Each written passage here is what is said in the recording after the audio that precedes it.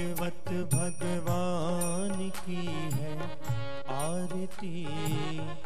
आपियों को आप से है तारती। श्री भागवत भगवान की है आरती। पापियों को पाप से है तारती। श्री भागवत भगवान पापियों से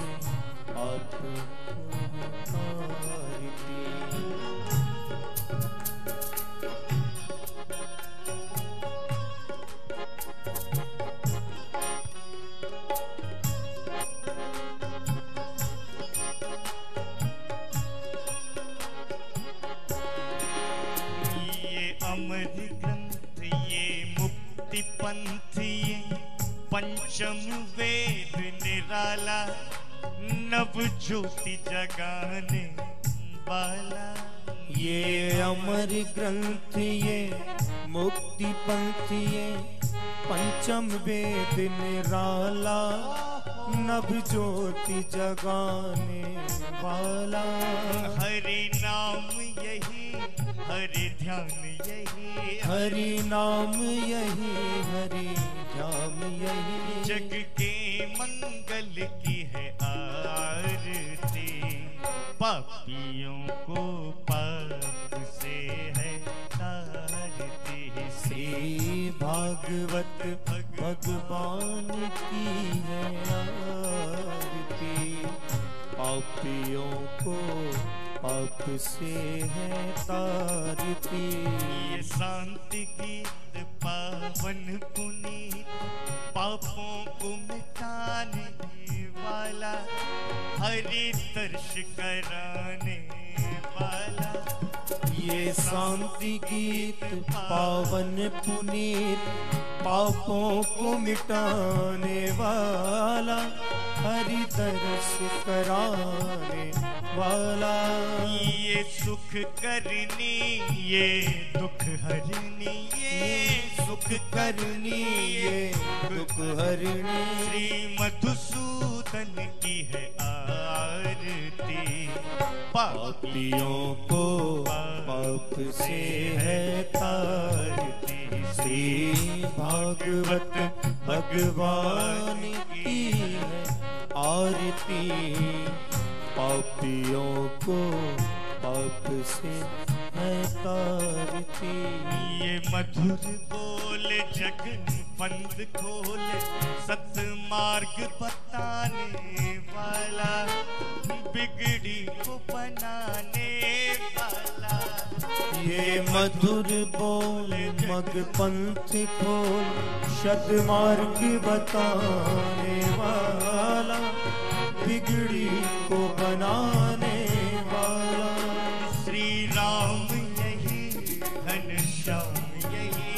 श्री राम यही घन श्याम यही। श्री राम यही घनश्याम यही। श्री राम यही घन श्याम यही। प्रभु के महिमा की है आरती।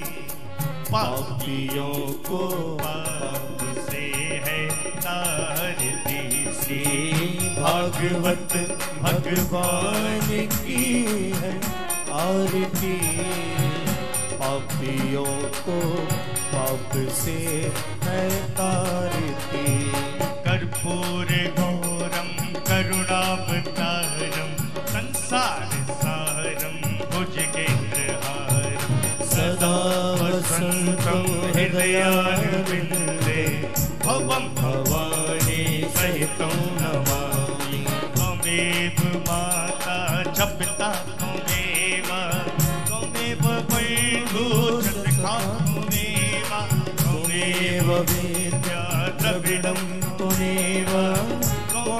सर्वं देव देव। देव देव। देव देव देव। हरि ओम ओम आर्तिज्ञम समर्पयामि, जले शीतलीकरणम देवाय देववंदनम आत्माभिवंदनम हस्ते अक्षत पुष्पाणि कृत्वा मंत्र पुष्पांजलि हरिः ओम मा जग्नेन जगमहि जन्ते देवास्तानि धर्माणि प्रथिमान्या सन्नः तेहनाकं महिवानः सचन्द्रजत्रपूर्वे साध्याः सन्ति देवाः।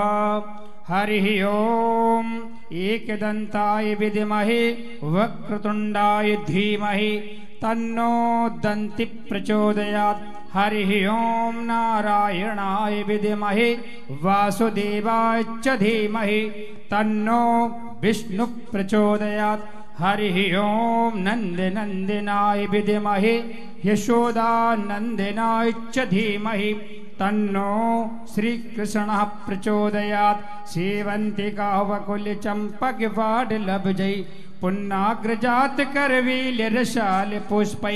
विलव प्रवाल तुलसी दल मंजरे भे तां पूजयामि में प्रसीदो नाना सुगंध पुष्पाणी यथा कालोद्भवानि च पुष्पांजलिर्मया दत्त ग्रहणं परमेश्वर श्री भागवत पुराण पुरुषोत्तमाय नमः। मंत्र पुष्पांजलि समर्पयामि। श्री भागवत महापुराण की जय। श्री राधा रानी की जय। श्री बांके बिहारीलाल की जय। पूजपा श्री व्यास जी महाराज की जय। जय जय श्री राधे श्याम। सभी लोग यथा स्थान बैठ करके महाराज श्री जी की सुमधुर वाणी से भाव कथा रसपान, रसास्वादन करें। जय श्री राधे, जय श्री श्याम। जय जय श्री राधे। कृष्णाय वासुदेवाय हरिये परमात्मने। प्रणत क्लेश नाशाय श्री गोविंदाय नमो नमः। श्री वृंदावन बिहारी लाल की तो आइए जयकारे के साथ हम और आप आज द्वितीय दिवस की मंगलमय कथा कर स्वादन लेंगे। हम सभी मानव मंदिर निर्माणार्थ मनुश्री मानव सेवा संस्थान श्रीधाम वृंदावन के पावन सानिध्य में मानव मंदिर के निर्माणार्थ सप्तदिवसीय संगीत में श्रीमद भागवत महापुराण और इस व्यवहारिक नौ वर्ष की मंगल में शुरुआत में हम और आप इस पावन पवित्र भक्ति निकेतन आश्रम और श्रद्धाम वृंदावन की पावन धरा से श्रद्धेय आचार्य मनुष्य जी महाराज जी के पावन सानिध्य में हम और आप अपने जीवन का परम लाभ, अपने जीवन का सर्वोत्कृष्ट फल है सत्संग, जिसकी प्राप्ति हम और आप भागवत जी की कथा के माध्यम से कर रहे हैं। हम सभी कथा यात्रा में प्रवेश करें, लेकिन उसके पहले जिस मंगल में उद्देश्य को लेकर कथा रखी गई है, आप सभी महाराज श्री का परिकर यहाँ पर विराजमान है। तो जो भी भक्त यहाँ बैठे हैं और जो भी दशा के माध्यम से सारा देश विदेश कथा से जुड़ चुका है।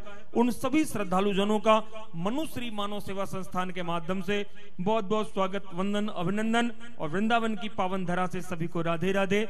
जय श्री राम, जय श्री कृष्ण। हम और आप मानव मंदिर के निर्माणार्थ इस कथा का आयोजन रखा गया है।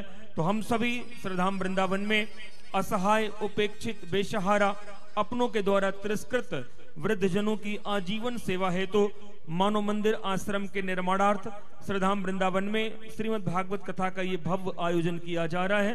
तो आप सभी मानव मंदिर आश्रम जो निर्माणाधीन है श्रद्धाम वृंदावन में कल जिसका विधवत भूमि पूजन हुआ, वहाँ पर उन सभी उपेक्षित जन जिन्हें अपनों ने बेघर कर दिया है उन्हीं सबको एक सुंदर घर जैसा वातावरण देकर उनके जीवन में पुनः खुशियों को भर देने का प्रयास किया जा रहा है। तो आप सभी भक्त जो भी वहाँ बैठे हैं और जो भी चैनल के माध्यम से महाराज श्री को लगातार दिशा के माध्यम से सुनते आ रहे हैं तो आप सब भी उस पाव, पावन पवित्र मानव मंदिर वानप्रस्थ आश्रम का जो मंगल में निर्माण यहाँ पर हो रहा है तो अधिक से अधिक भक्तों का मंगल में सहयोग आना चाहिए। और वैसे भी आज इकतीस दिसंबर है तो अधिक से अधिक पुराना वर्ष बीत रहा, व्यवहारिक नौ वर्ष और कल से लगेगा तो अधिक से अधिक आपकी मंगल में सेवा मानव मंदिर के लिए आनी चाहिए। और यहाँ पर अगर आपकी सेवा आती है तो वास्तव में अनंत गुना फल की प्राप्ति होगी, क्योंकि वृंदावन की कथा में आप मानव मंदिर के लिए देंगे तो आपके पुण्यों की गणना तो शायद चित्रगुप्त भी न कर पाए। तो जो भी भक्त महाराश्री के उस मंगल में प्रकल्प में अपनी सेवा देना चाहते हैं तो एक फुट भूमि दान सहयोग राशि ग्यारह सौ रुपए, पाँच फुट भूमि दान सहयोग राशि पचपन सौ रुपए दस फुट भूमि दान सहयोग राशि ग्यारह हज़ार रुपए।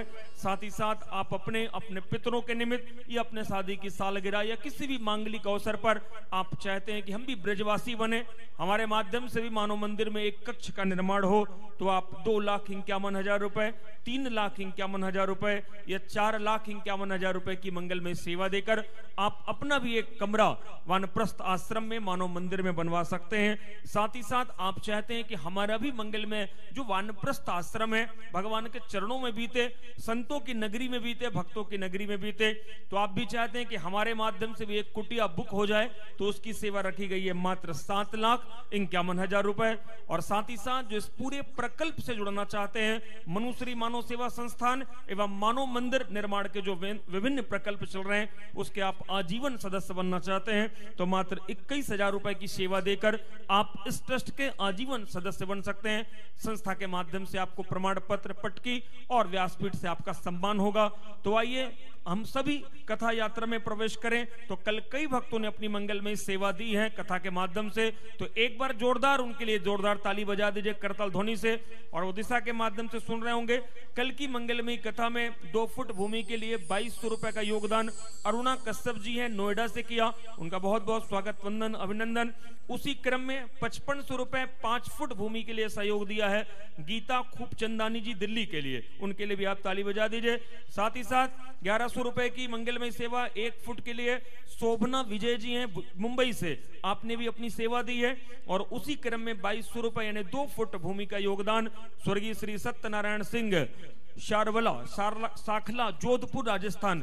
आपके माध्यम से भी मंगल में सेवा आई है आपके परिवार की तरफ़ से। और उसी क्रम में हैदराबाद से कल कथा श्रवण कर रहे थे भैया श्री रविकांत जी और मानसी देवी जी। आपने भी मानव मंदिर के लिए ग्यारह सौ रुपए यानी एक फुट भूमि दान की सहयोग राशि देकर अपना उस संकल्प में भागीदारी निभाई है। तो अधिक से अधिक जो भी भक्त यहाँ बैठे हैं, कार्यालय से संपर्क करके अपना नाम दे सकते हैं।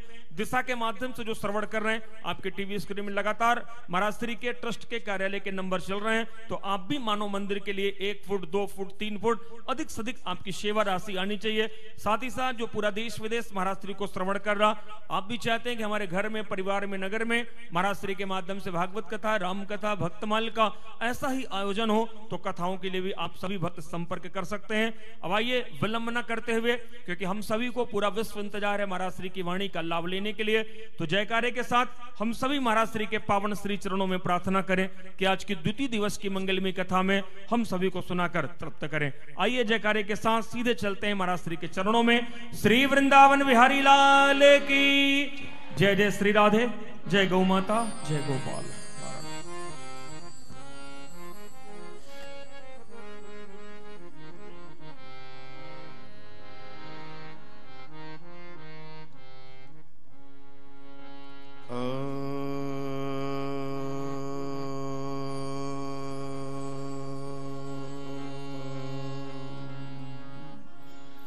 स्वस्ति श्रीगणेशाय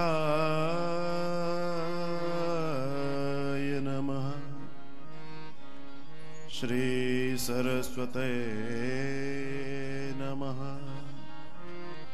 श्रीवेदपुरुषाय नमः। स्थानदेवताय नमः। समस्त आवाहित देवताय नमः।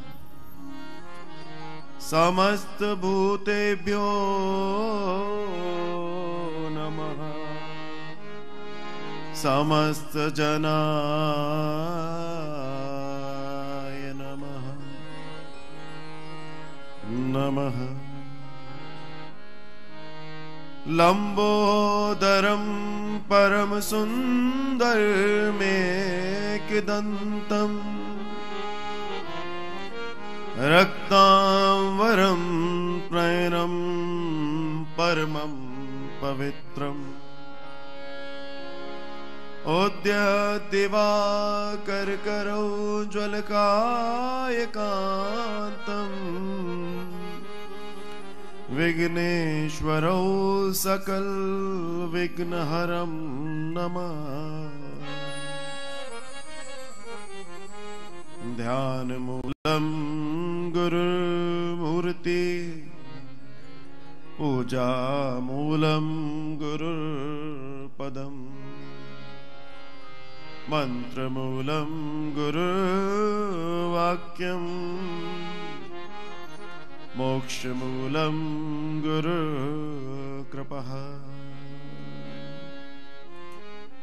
यं प्रव्रजन्तुमनुपेतमपेतकृत्यम् द्वैपायनो विरहकातराजुहाव। पुत्रेति तन्मयतया तर्वोऽभिनेन्दुः। तं सर्वहृद्भूतहृदयं मुनिमानतोऽस्मि कृष्णाय वासुदेवाय। हरये परमात्मने। प्रणतक्लेशनाशाय। गोविन्दाय नमो नमः। कर्पूरगौरं करुणावतारम्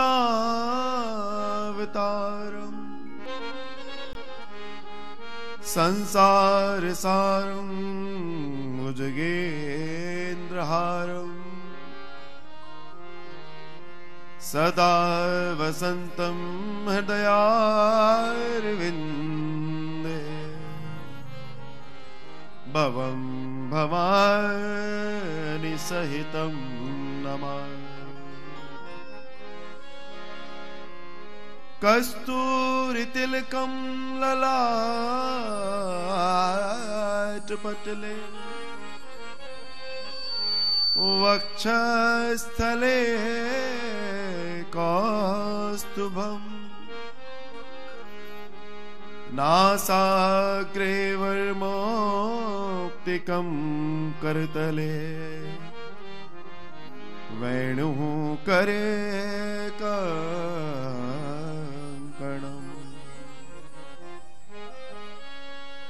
मनोजीवं मारुततुल्यवेगम्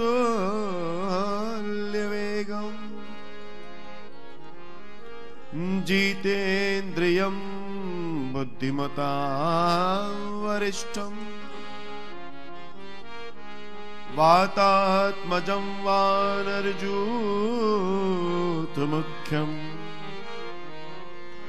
श्रीरामदूतं शरणं प्रपद्ये। श्रीरामदूतं शरणं प्रपद्ये। राधा मेरी स्वामिनी मैं राधा को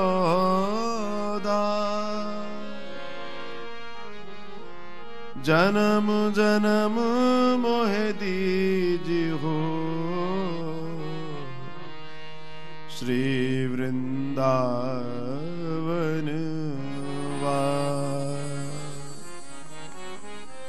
जन्म जन्म मोह दीज हो श्री वृंदावन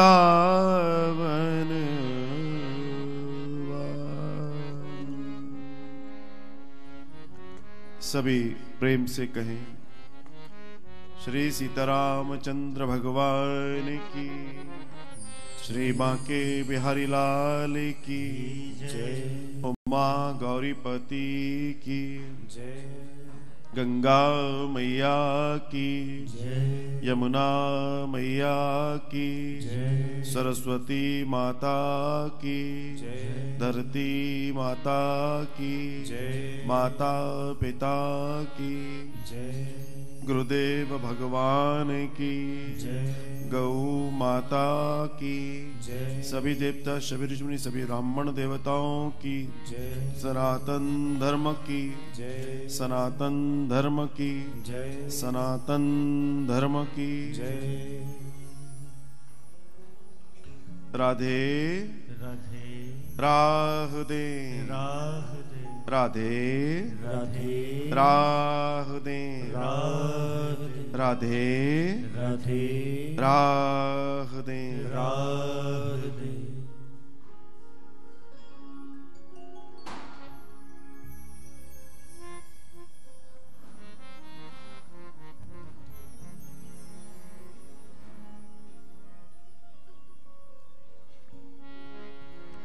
श्री राधे। श्री राधे श्री राधे। मंगल भाई, आज की हमारी उपस्थिति भगवान के श्री चरणों में। परम कल्याणकारी परमात्मा वांगमय रूप में हमारे बीच श्रीमद् भागवतम की दृष्टि में विराजमान है।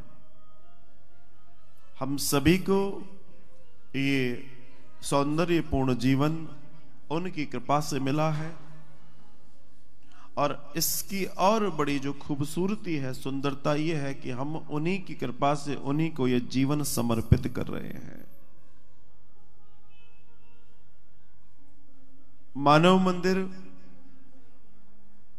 श्रीधाम वृंदावन, असहाय वृद्धजन, निराश्रित बेसहारा, अपनों के द्वारा तिरस्कृत उन वृद्धजन के लिए समर्पित है, जिन्हें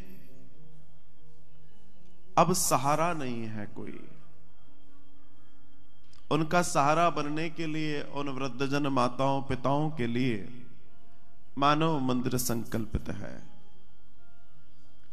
उसी के भूमि पूजन के उपलक्ष्य में ये गंगा भागवत रूपी गंगा जो बहना आरंभ की है, ये हम सब पर महती कृपा है भगवान की, कि इस आनंदमयी बेला में हम साक्षी बन पा रहे हैं। इस आनंदमयी बेला में हमारे जीवन में कल्याण हो रहा है, और हम परमानंद से उस आनंद को समझ पा रहे हैं। आइए आज की इस पवित्र द्वितीय दिवस की कथा में प्रवेश करें। एक बार नाम संकीर्तन और तत्पश्चात कथा प्रवाह में अब आगे बढ़े। जय जय राधा रमण हरि बोल रे। जय जय राधा रमण हरि बोल रे, जय जय राधा रमण हरि बोल रे, जय जय राधा रमण हरि बोल रे, जय जय राधा रमण हरि बोल रे, जय जय राधा हरि बोल रे। जय राधा रमण हरि बोल रे।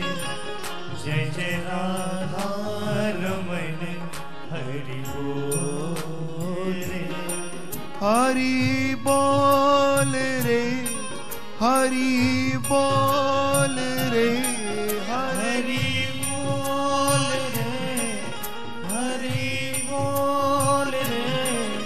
हरि बोल रे हरि बोल रे।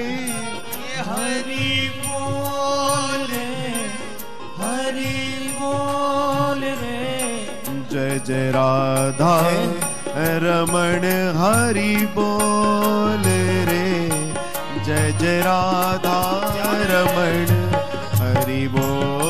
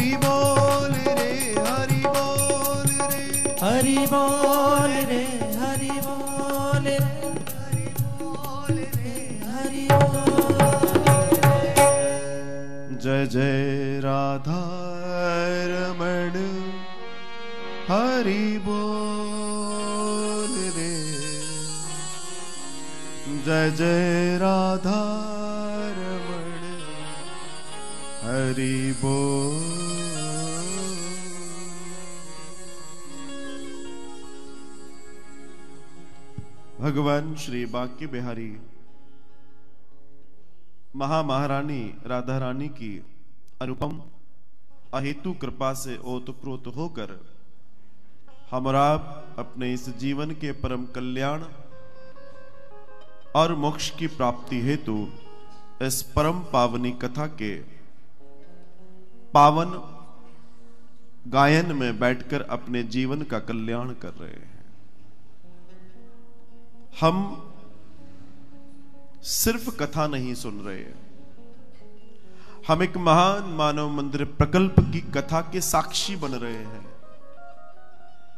यह साक्षी होना, इस कथा का अंग होना और मानव मंदिर का अंग होना, अपने आप में एक विलक्षण क्षण है जो कभी कभी किसी के जीवन में आता है। जब हम कई कई जन्मों के सुंदर कृत्यों को एकाकार कर लेते हैं और जब वो सुंदर फूलों से बना हुआ एक गुलदस्ता बन जाता है तो वो परमात्मा को पसंद आता है और वो अपने निज सेवा में सेवा दे देते हैं। हम आप इस पतित पावनी कथा की उसी गुलदस्ते के एक पुष्प हैं, जो अपने जीवन के परम कल्याण और आगामी जीवन की यात्रा के लिए या फिर इस जीवन की यात्रा की मुक्ति के लिए सुख का साधन खोजते हुए इस यात्रा में शामिल है हमें चाहिए कि हम अपने परम कल्याण की तैयारी करें और अपने परम कल्याण को उपलब्ध हो जाएँ। एक दिन तो ऐसा आए जिस दिन गोविंद के सामने हम खड़े होकर कह पाए कि तुम ही हमारे पालन हारे हो और तुम तुम्हारी के, तुम्हारे ही साथ हमें गमन करना है। तुमने हमें इस धरा पर भेजा और हम न जाने क्या क्या करने लगे। लेकिन हे नाथ, उन सब के बावजूद आपको हम भूले नहीं, आपके बने रहें। ऐसी कृपा हम सब पर ज़रूर बनाए रखना और हमारे जीवन का कल्याण हो, ऐसी कृपा देना। आज बड़ा हर्ष का विषय है।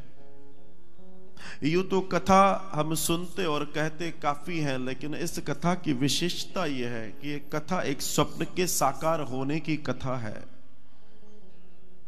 जिस मानव मंदिर के स्वप्न को हम सब मिलकर देख रहे थे वो मानव मंदिर अपने भूमि पूजन की ओर साकार हो गया। कई वृद्ध जन असहाय जन तिरस्कृत जन बेसहारा जन के लिए एक अनुपम, एक सुंदर घर जैसी स्थिति अब जल्दी तैयार होने वाली है। जिसे न वृद्धाश्रम कहा जाएगा, न तेरा घर, न मेरा घर, उसे कहा जाएगा मानव। मंदिर। वो मानव मंदिर जिसमें सब रहकर मानवता की ओर बढ़े, सब एक हो जाए, सब एक दूसरे का हाथ पकड़े जोत से जोत जलाएँ और जीवन में प्रकाश भर ले। ऐसी ऐसी सुंदर व्यवस्था नारायण ने इस धरा पर मानव मंदिर के रूप में साकार करने की प्रेरणा हम सबको दी है। हम सबके जीवन का कल्याण करने के लिए भगवान ने हमें यह सौभाग्य दिया है कि हम इस मानव मंदिर के किसी न किसी भाग से जुड़कर अपने जीवन का कल्याण कर पा रहे हैं। या तो हम इस यहाँ तन से, मन से, धन से जैसे सेवा हो सकती है, जुड़ रहे हैं। आप भूमिदान से जुड़े, आप कक्ष के निर्माण से जुड़े, आप वानप्रस्थ कुटिया से जुड़े आप सत्संग हॉल के निर्माण से जुड़े, आप किसी भी तरीके से जुड़े, आपके पास मान लीजिए धन नहीं है तो तन से जुड़े, तन काम नहीं है तो मन से जुड़े और बस मानव मंदिर की सुंदर बल्दी भव्यता की ओर अग्रसर हो जाए, इसकी कामना करते रहें, ये भी एक बड़ा सहयोग और दान होगा।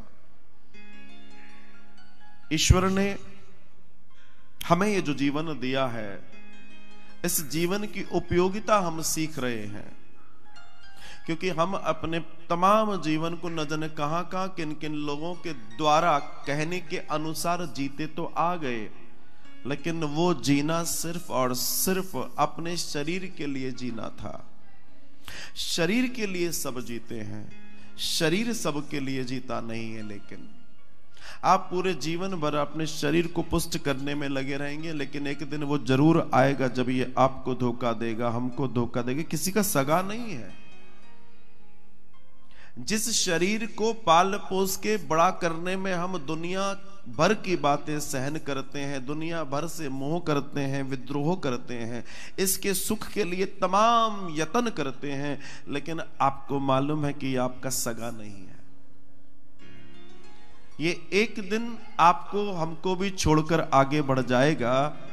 और जब ये आगे बढ़ जाएगा तो ये लौट कर नहीं आएगा, ये मिट्टी हो जाएगा। और जब इसे मिट्टी हो जाना है तो ये बात तय मान के चलना कि ये हमारा सगा नहीं है। तो सगा कौन है? इस बात पर विचार करना ही भागवत है। अपने सगे को जानना अंतोगत्वा जिस यात्रा में हमें एक दिन वहाँ डेस्टिनेशन जिस जगह पर पहुँचना है, उस जगह को जान लेना ही भागवत है। और आप ये जानने का प्रयास कर ले तो आनंद आ जाएगा। यही भागवत हो जाने की प्रक्रिया है और यही भागवत हो जाने का एकमात्र विकल्प है कि हम भागवत को जीवन में उतार लें। एक बार उतार भर लीजिए। आप वो सब कर लेंगे जो आप चाहते हैं। और जीवन बहुत सुंदर हो जाने वाला है। कल कथा का शुभारंभ हुआ। हमने कथा के विषय में जाना, महत्व को जाना और ये जाना हमने कि किस तरीके से ये कथा हम सबके लिए कल्याणकारी है। जीवन में जीवन के साथ भी और जीवन के बाद भी ये कथा कल्याणकारी है। अगर हम जीवित हैं, तब भी ये हमारा कल्याण करती है, और अगर हम भूत प्रेत आदि आदि किसी योनि में है तो भी ये कथा हमारा कल्याण करती है। आप बताइए, इस दुनिया में कौन है ऐसा जो आपका इतना साथ दे सके? और ये साथ सिर्फ़ नारायण देना चाह रहे हैं। नारायण हमारे साथ हैं, वो हर पल हाथ फैलाए बैठे हैं। लेकिन न जाने हम कहा अपने हाथों को छुपाए बैठे हैं। बंधा हुआ आ रहा है पूरा। आवाज़ ही नहीं खुल रही।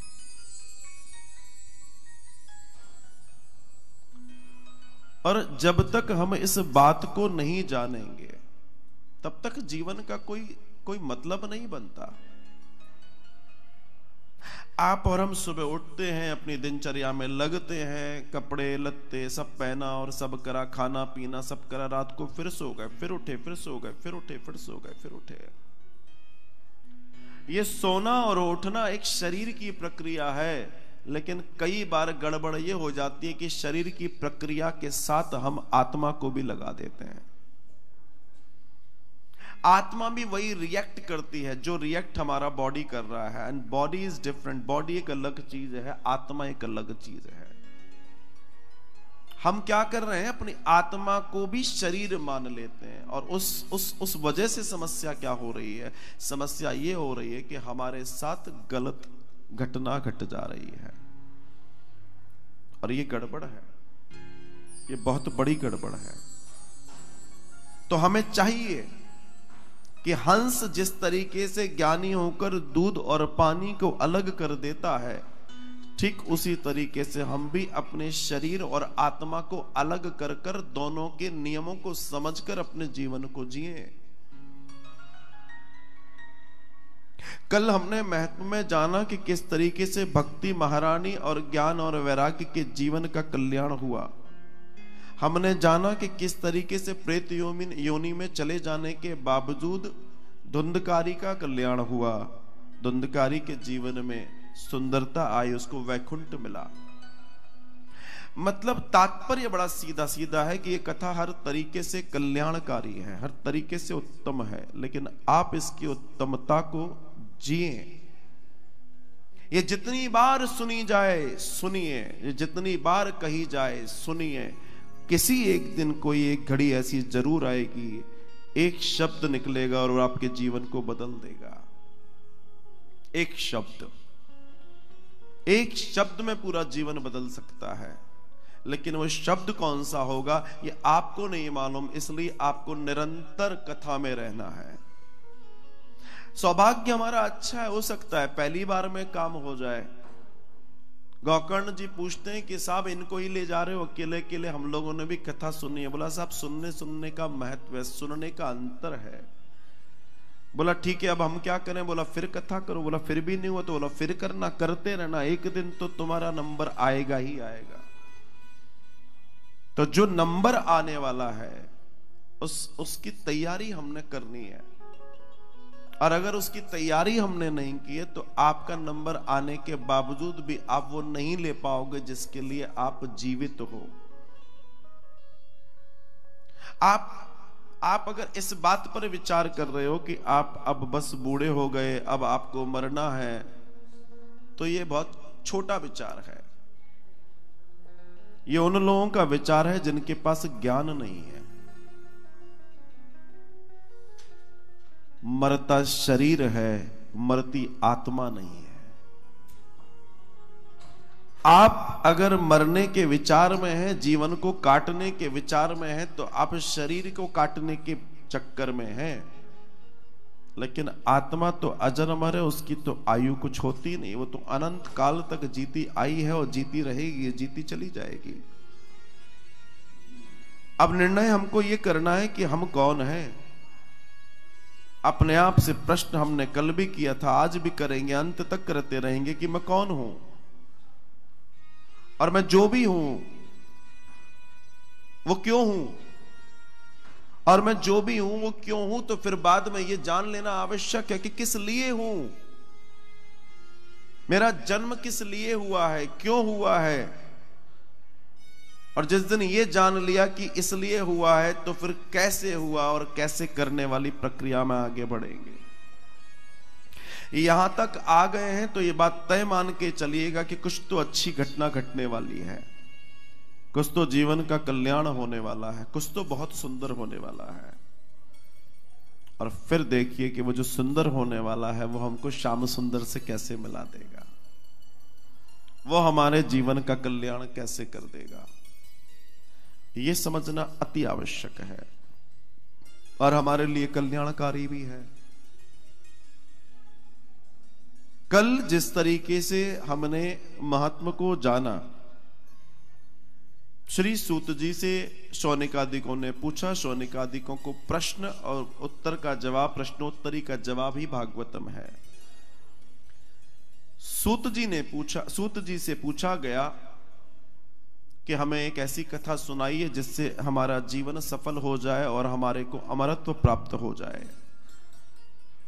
हम आनंद से भर जाए, और तब उन्होंने उस कथा का रसपान कराने का निश्चय लिया जिसको भागवतम कहते हैं।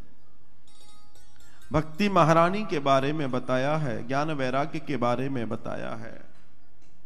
और उसके बाद धुंधकारी के पापों से मुक्त करने की प्रक्रिया को बताया।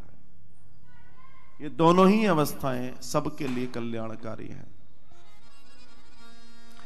जब कल महत्व में प्रवेश किया तब भगवान श्री वेद व्यास ने लिखा, सच्चिदानंद रूपाय विश्वोत्पत्त्यादि हेतवे तापत्र विनाशाय श्री कृष्णाय वयम नमः।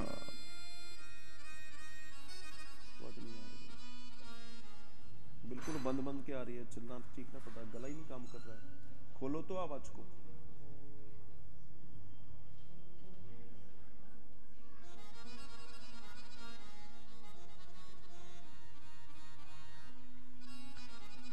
श्री कृष्णाय वयम नुमः।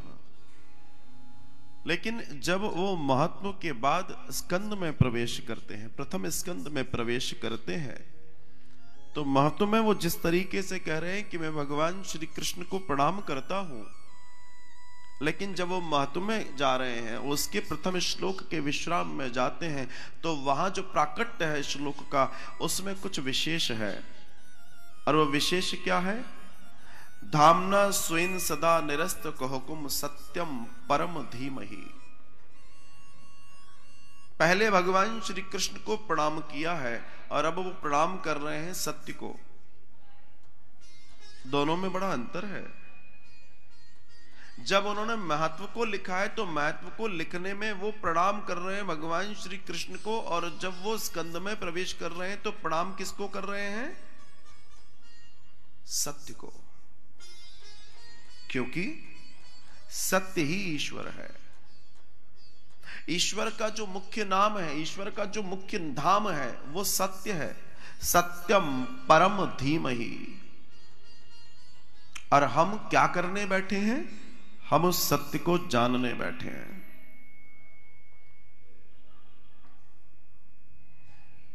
हमारा जो जीवन है, वो किस बात को जानने के लिए मिला है? और हम जानने क्या लगे हैं? हम जानने बैठ जाते हैं, घर, बाहर, गृहस्थी, मेरा, तेरा, तूने मुझको ये नहीं किया, मैंने तुझको ये नहीं किया, तूने मुझे ये नहीं दिया, मैंने तुझे ये नहीं दिया, मुझे ये बनाना है, मुझे ये बिगाड़ना है। असल में ये सब झूठ है सब यहीं छूट जाएगा। तुम जितनी भी चीज़ें बनाने वाले हो, तुम्हारे साथ एक नहीं जाने वाली। है और यहाँ तक कि तुम्हारा ये लाड़ से पाला हुआ शरीर भी तुम्हारा साथ नहीं देने वाला। तुम कितने ही जतन कर लो, एक दिन तो तुम्हें कंधों पर जाना है और कंधे वाले भी ले जाएँगे तो उसके बाद मिट्टी हो जाना है। और मिट्टी मिट्टी में मिल जानी है, उसका भी कुछ नहीं होना। तो फिर कर किसके लिए रहे हैं?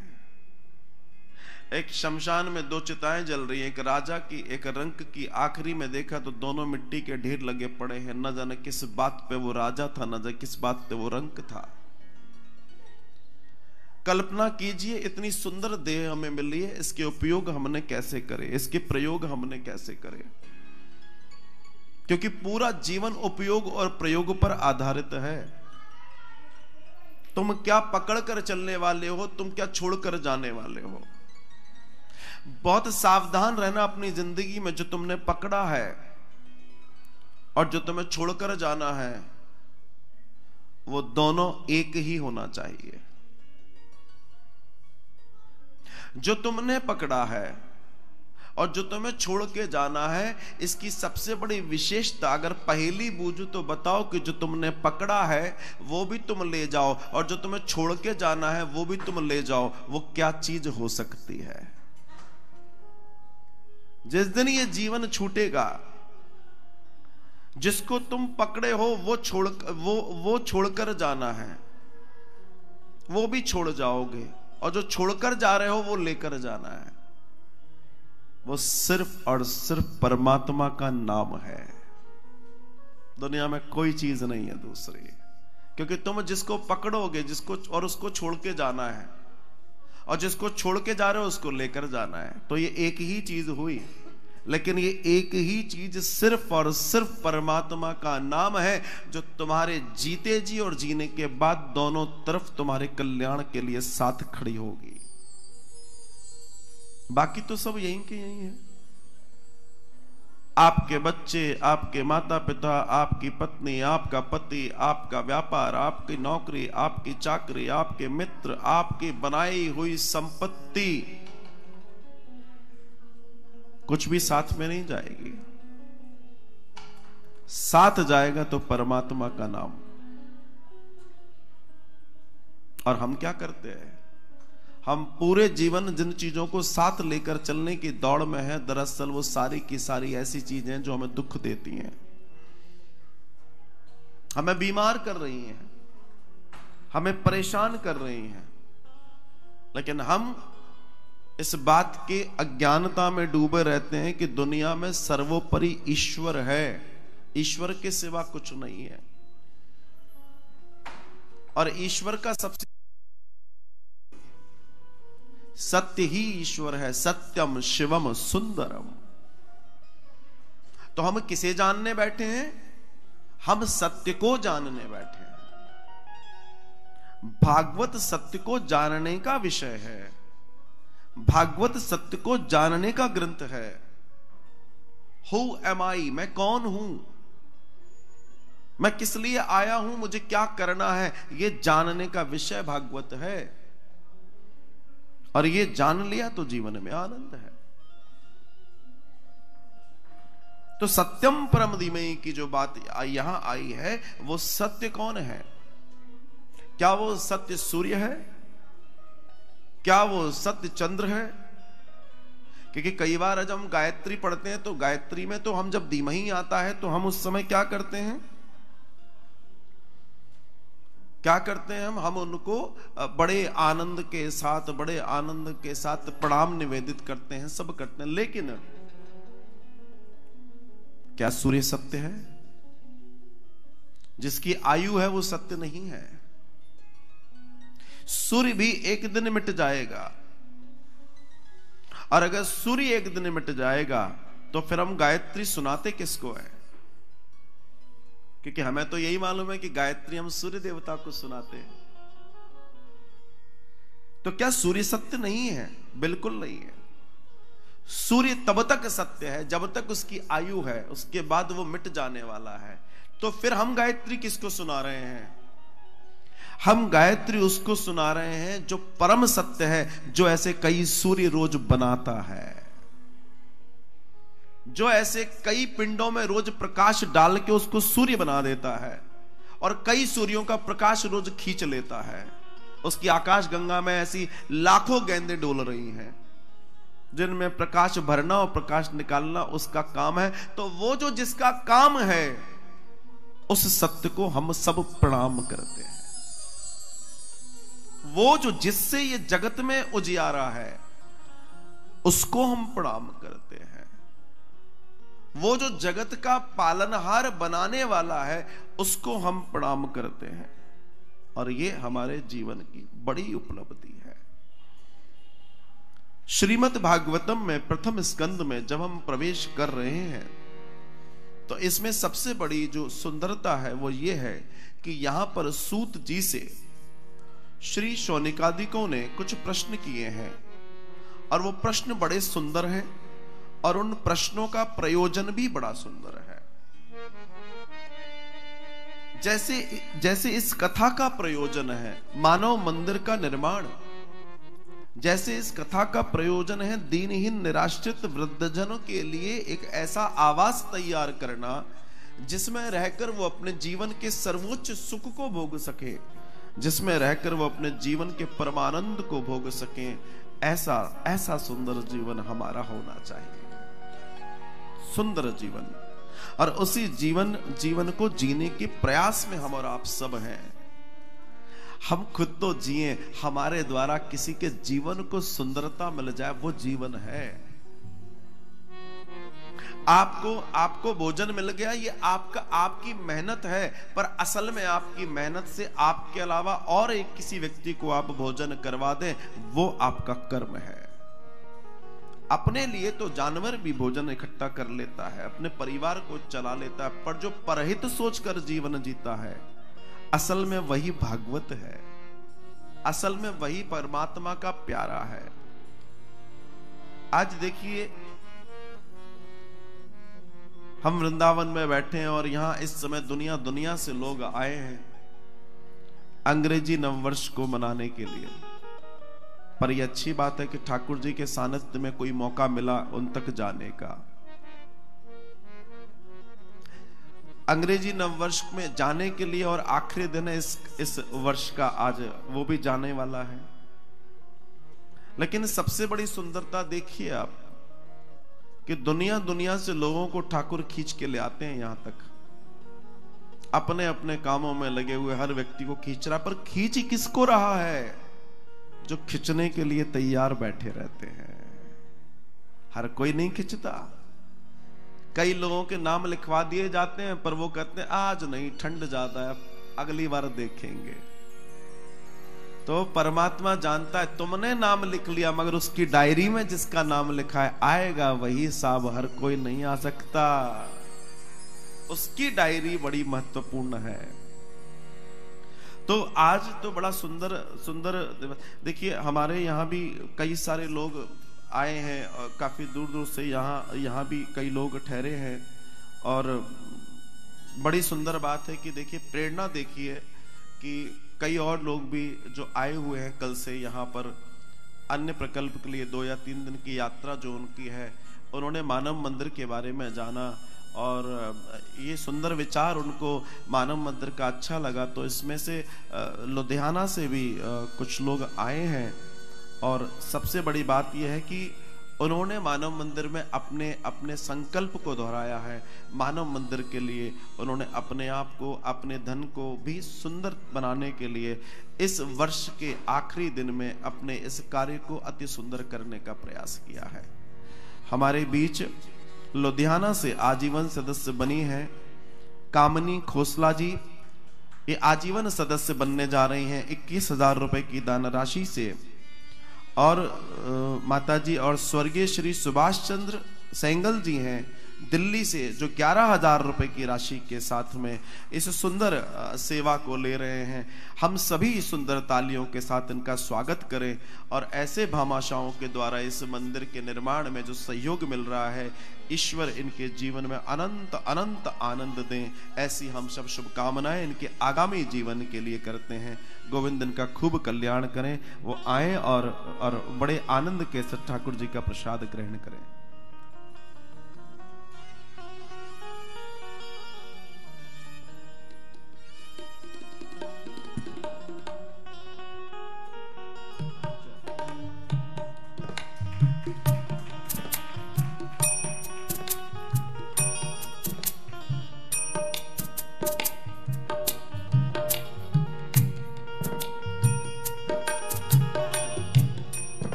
जीवन विचारों का खेल है।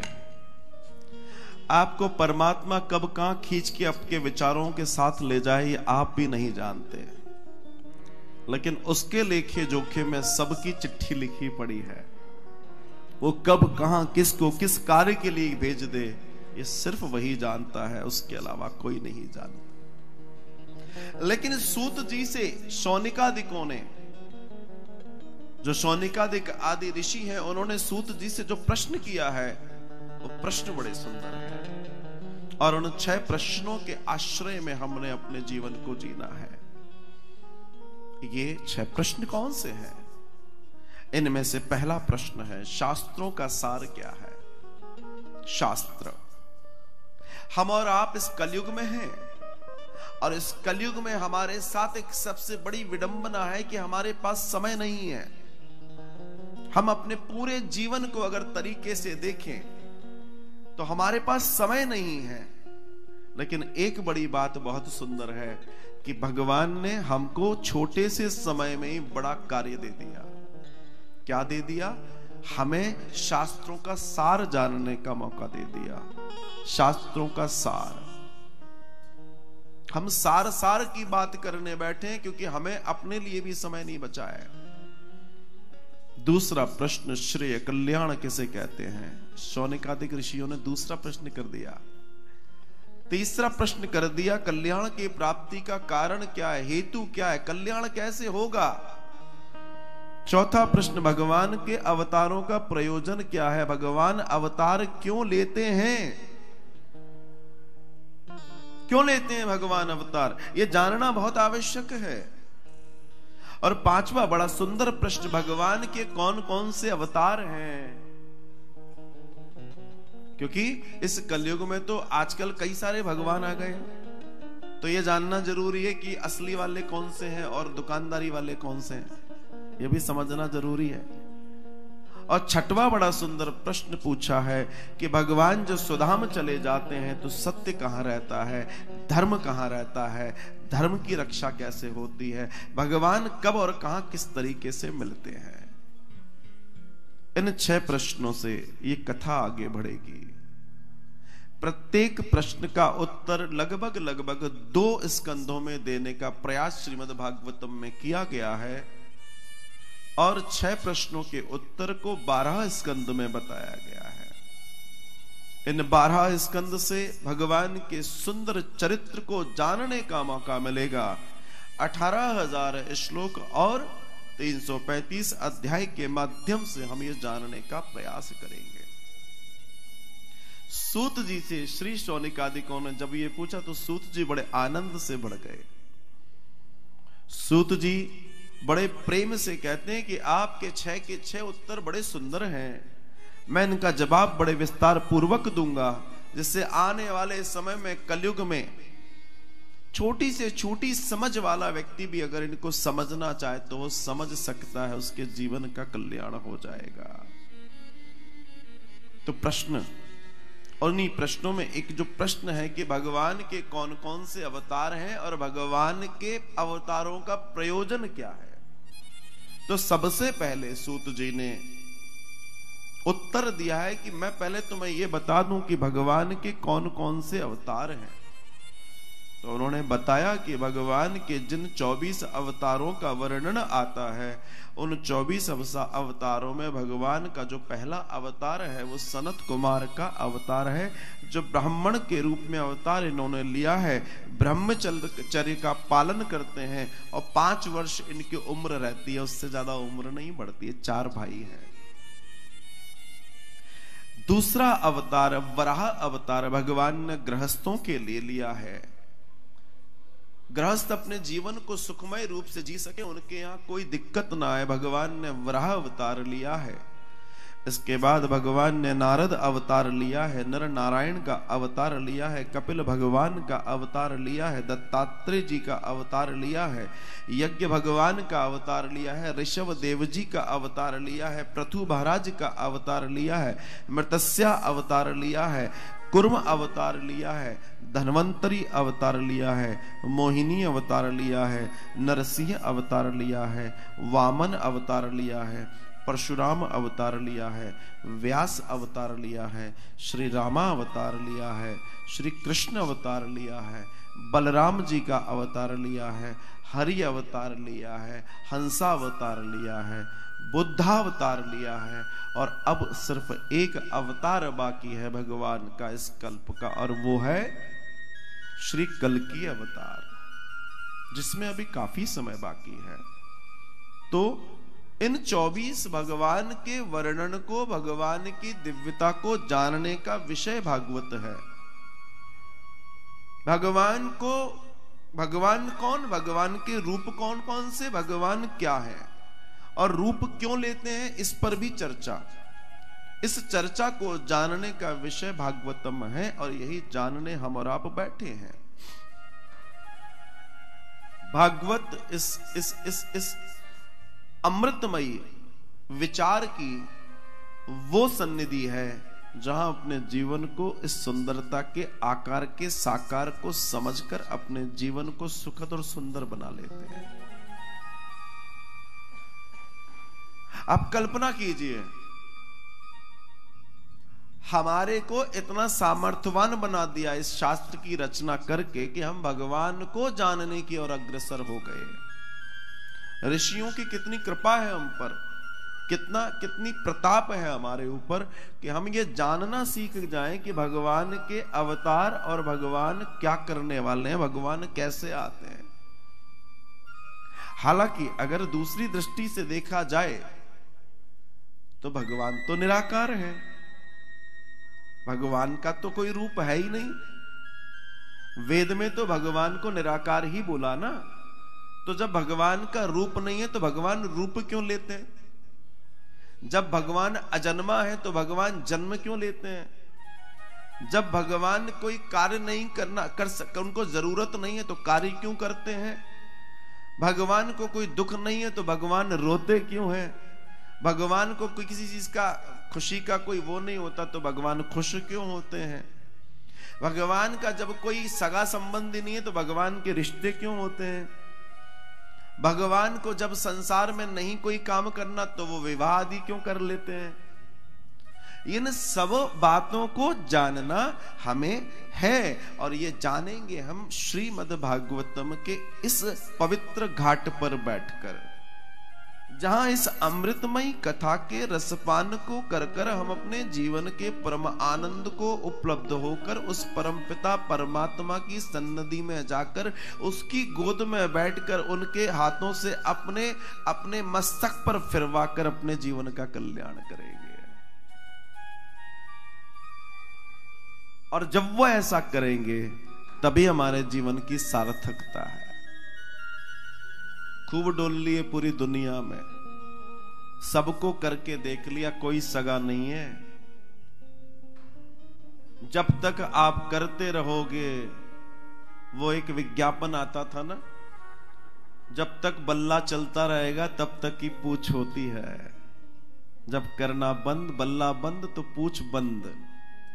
तो जब तक आप आरतियाँ करते रहोगे दुनिया भर की, सब आपको अच्छा बोलेंगे। जिस दिन आपने आरती करनी बंद की, आपसे ज़्यादा बुरा दुनिया में कोई नहीं होगा साहब। तो एक बात कहूँ, आरती करके बुरा बनना है तो बेहतर है बुरे ही बने रहो, ज़्यादा अच्छा है। कम से कम वो दुख तो नहीं होगा, हमने आरती भी करी और दुख भी मिला। तो बेहतर है कि दुख बने रहो, क्योंकि दुख बने रहोगे तो राम का नाम चलता रहेगा। राम तो साथ रहेगा, दुनिया छूटती है तो छूट जाए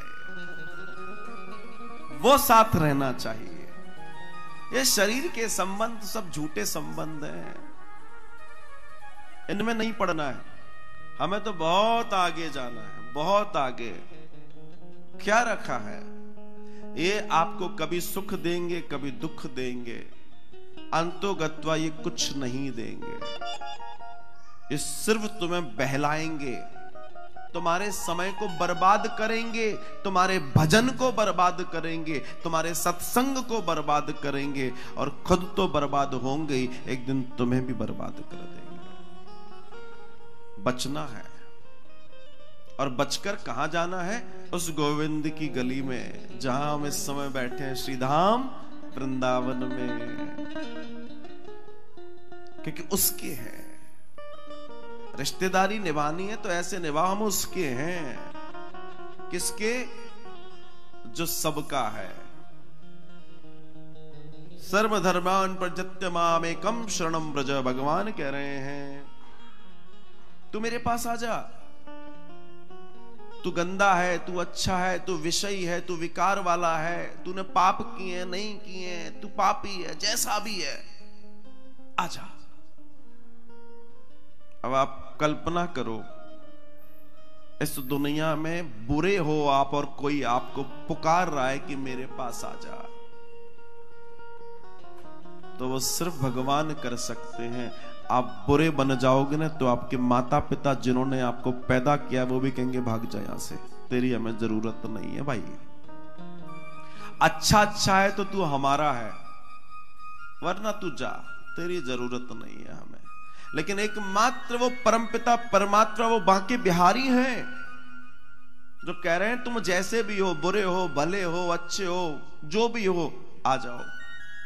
मैं तुम्हारे समस्त पापों से तुम्हें मुक्त कर दूँगा। भगवान कह रहे हैं, गीता के अठारहवें अध्याय के छियासठवें श्लोक में, तुम्हारे समस्त पापों से तुम्हें मुक्त कर दूँगा। तुम एक बार मेरे तो हो जाओ।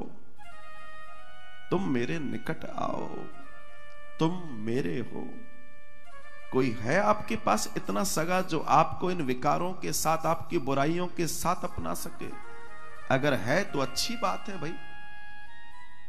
लेकिन मुझे नहीं लगता इस पूरी कायनात में, इस पूरी सृष्टि में कोई ऐसा होगा जो आपकी बुराइयों के साथ आपको अपना सके।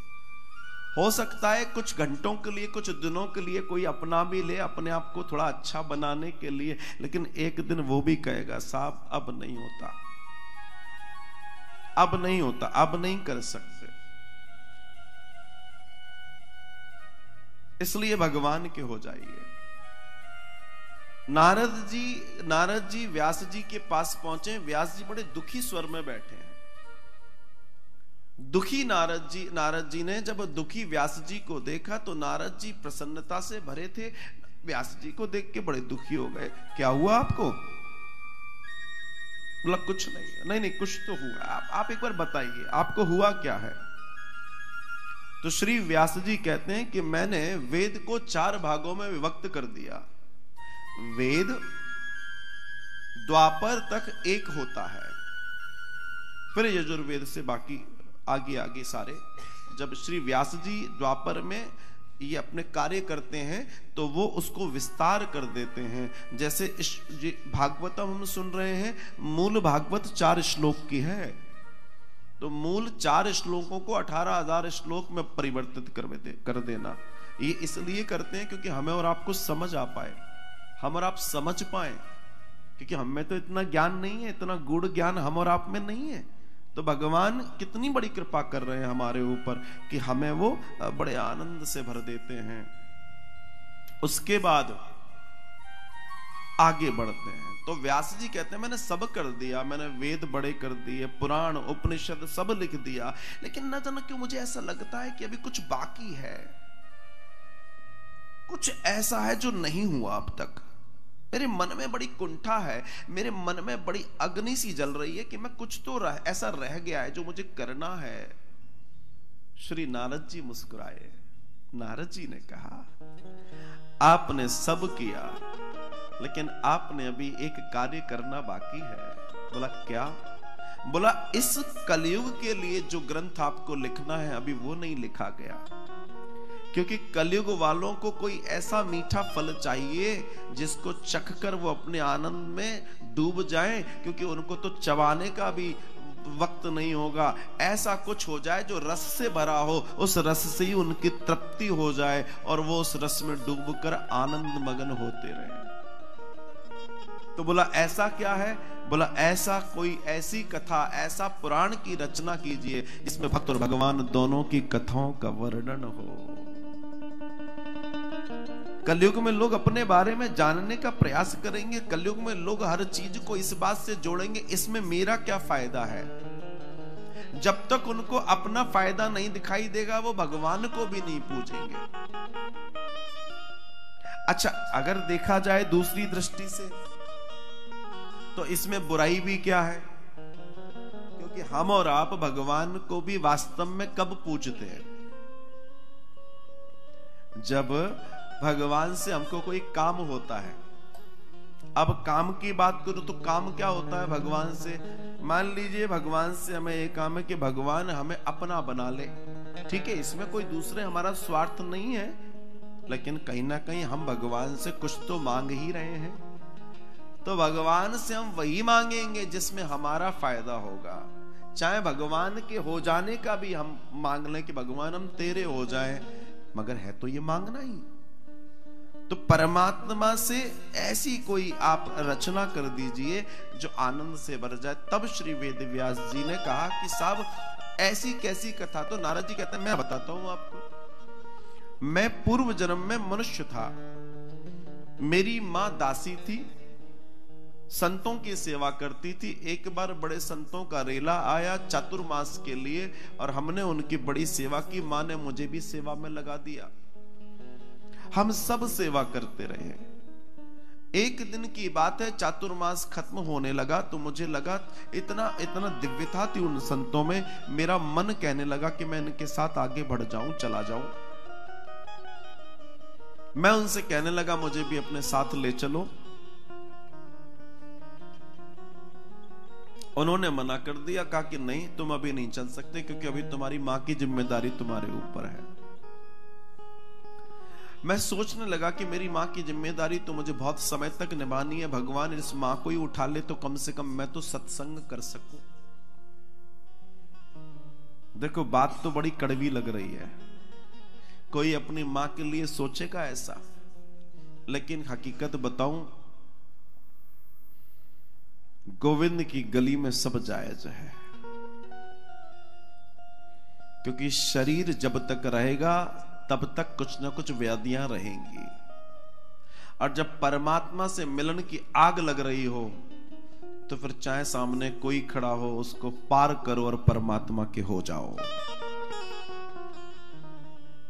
क्योंकि जब तक तुम पार नहीं करोगे, जब तक तुम कठोर नहीं बनोगे, उस निर्मल मन वाले से नहीं मिल सकते।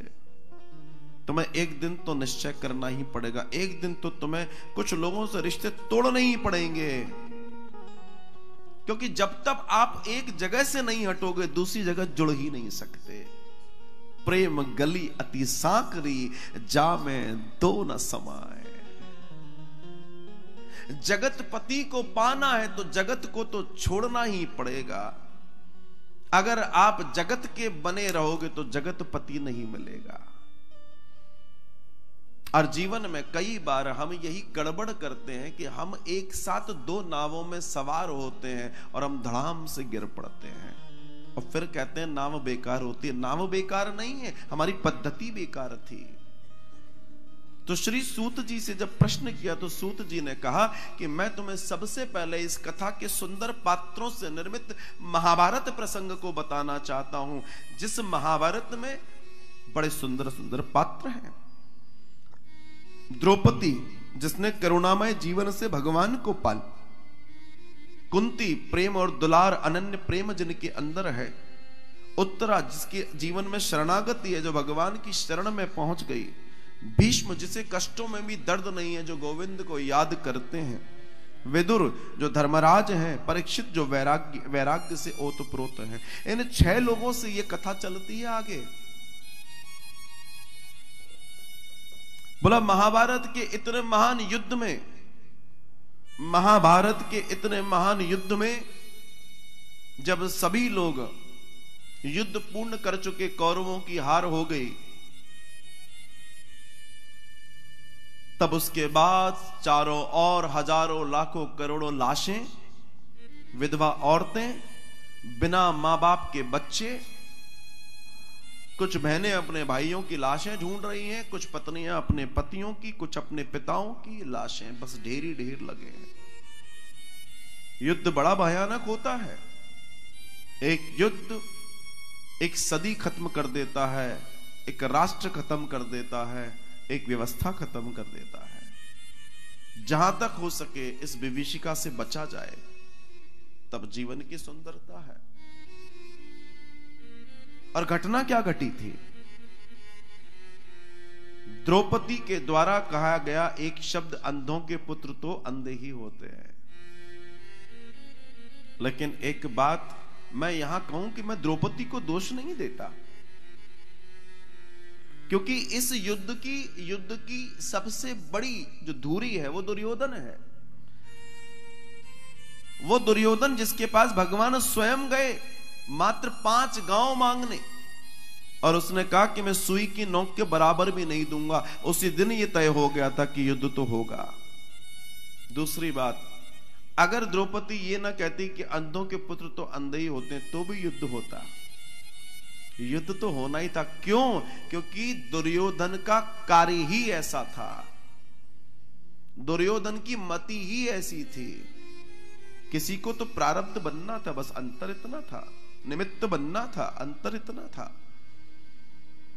और तब द्रौपदी के द्वारा जो भी हुआ, अंतोगतवा द्रौपदी को दुशासन खींच कर लाता है, केशों से पकड़कर खींच कर लाकर उसके जीवन को ध्वस्त कर देता है। चीखती हुई द्रौपदी, रोती हुई द्रौपदी, चिंगाड़ती हुई द्रौपदी सभी के सामने हाथ जोड़ के निवेदन कर रही है, हमारे जीवन का कल्याण कर दो मुझे, मेरी रक्षा कर दो, मेरी रक्षा कर दो। कोई नहीं सुनता साहब। कृपाचार्य, भीष्म, राजा, मंत्री, ब्राह्मण, प्रजा सब खड़े हैं, मगर आज उस स्त्री की रक्षा करने वाला कोई नहीं है। जब राजा पापी हो जाए, जब राजा गलत हो जाए तो प्रजा का सामर्थ्य खत्म हो जाता है। क्योंकि पाप के धन से पोषित हर व्यक्ति पाप में दब जाता है और उसके जीवन में कभी सत्यकर्म करने का साहस नहीं आ पाता। हम जो भोजन करते हैं, हम जो पानी पीते हैं, हम जो कपड़े पहनते हैं, बहुत सोच समझ कर इस बात का विचार करें कि हम जो कर रहे हैं, ये उस धन से, ये धन किस गति का धन है, किस मति का धन है, जिससे हमारे साथ ये हो रहा है। जिस दिन हम ये जान जाएँगे, इस बड़े विज्ञान को जान गए तो ये जान लेना कि आपके जीवन की सबसे बड़ी सुंदरता होगी। रोती हुई, चीखती हुई द्रौपदी सबसे आग्रह कर रही है, लेकिन कोई उसकी सुनने वाला नहीं है। भगवान, आज मानो द्रौपदी की परीक्षा ले रहे हैं या द्रौपदी खुद अपनी परीक्षा को लेना चाहती है? और तब जब कोई नहीं सुनता दुशासन उसके चीर को खींचे ही चला जा रहा है। तब उसको उस बनवारी का याद आता है, जो सबकी रखता है। बनवारी रे, जीने का सहारा तेरा नाम रे। दुनिया वालों से क्या काम रे? वनवा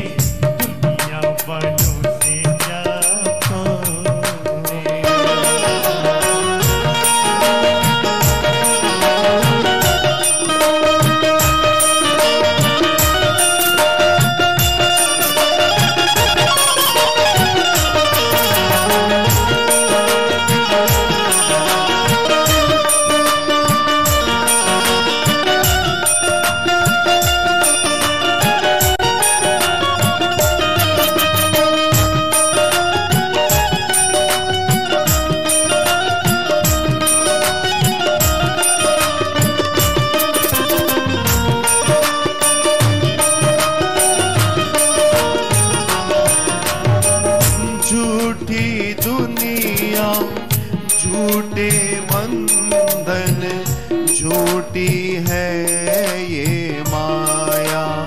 ओ, झूठा सांस का आना जाना झूठी है ये काया? ओ, झूठी दुनिया, झूठे बंधन, झूठी है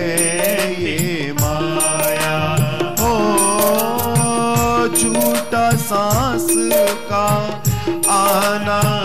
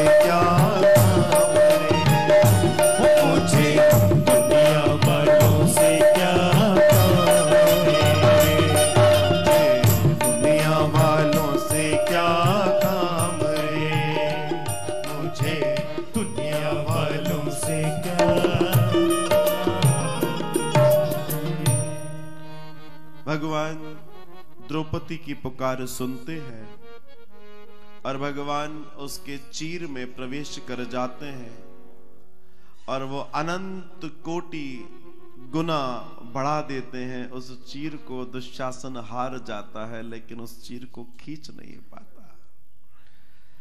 हमारे जीवन में भी कई ऐसे क्षण आते हैं जब हमारा चीर खींचने लगता है। लेकिन उस समय हम पूरी दुनिया में भटकने के बजाय अगर परमात्मा को याद करें तो एक वही है जो उस चीर को बचा सकते हैं, हमारे जीवन का कल्याण कर सकते हैं। हमें चाहिए कि हम अपने इस जीवन की परम सुंदरता को उपलब्ध होने के लिए भगवान का ध्यान करें, ना कि हम दुनिया में ध्यान लगाएँ। बस इतनी सी बात समझने की है। और ये बात हमारे जीवन के कल्याण के लिए परम आवश्यक है। हमें चाहिए कि हम अपने जीवन को सुखमय बना लें, आनंदमय बना लें। द्रौपदी की लाज भगवान ने रखी है। हमारी लाज भी भगवान रखेंगे। बस एक बात ध्यान रखना, द्रौपदी के साथ एक घटना घट गई कि दुशासन ने चीर पकड़ लिया। पता है क्यों? क्योंकि द्रौपदी ने पहले दुनिया वालों को याद किया, तब तक वो चीर पकड़ा रहा। अगर वो पहले ही बनवारी को याद कर लेती तो उसकी हिम्मत थी जो उसको हाथ भी लगा लेता। हमारे दुख का कारण है कि दुनिया को पूज रहे हैं। हमारे सुख का कारण क्या होगा कि जब हम दुनिया बनाने वाले को ही पूजें, बाकी किसी को नहीं पूजे साहब। हमें इतना चाहिए, इतना ही करना।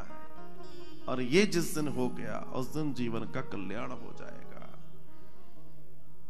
द्रौपदी की लाज भगवान ने रखी है।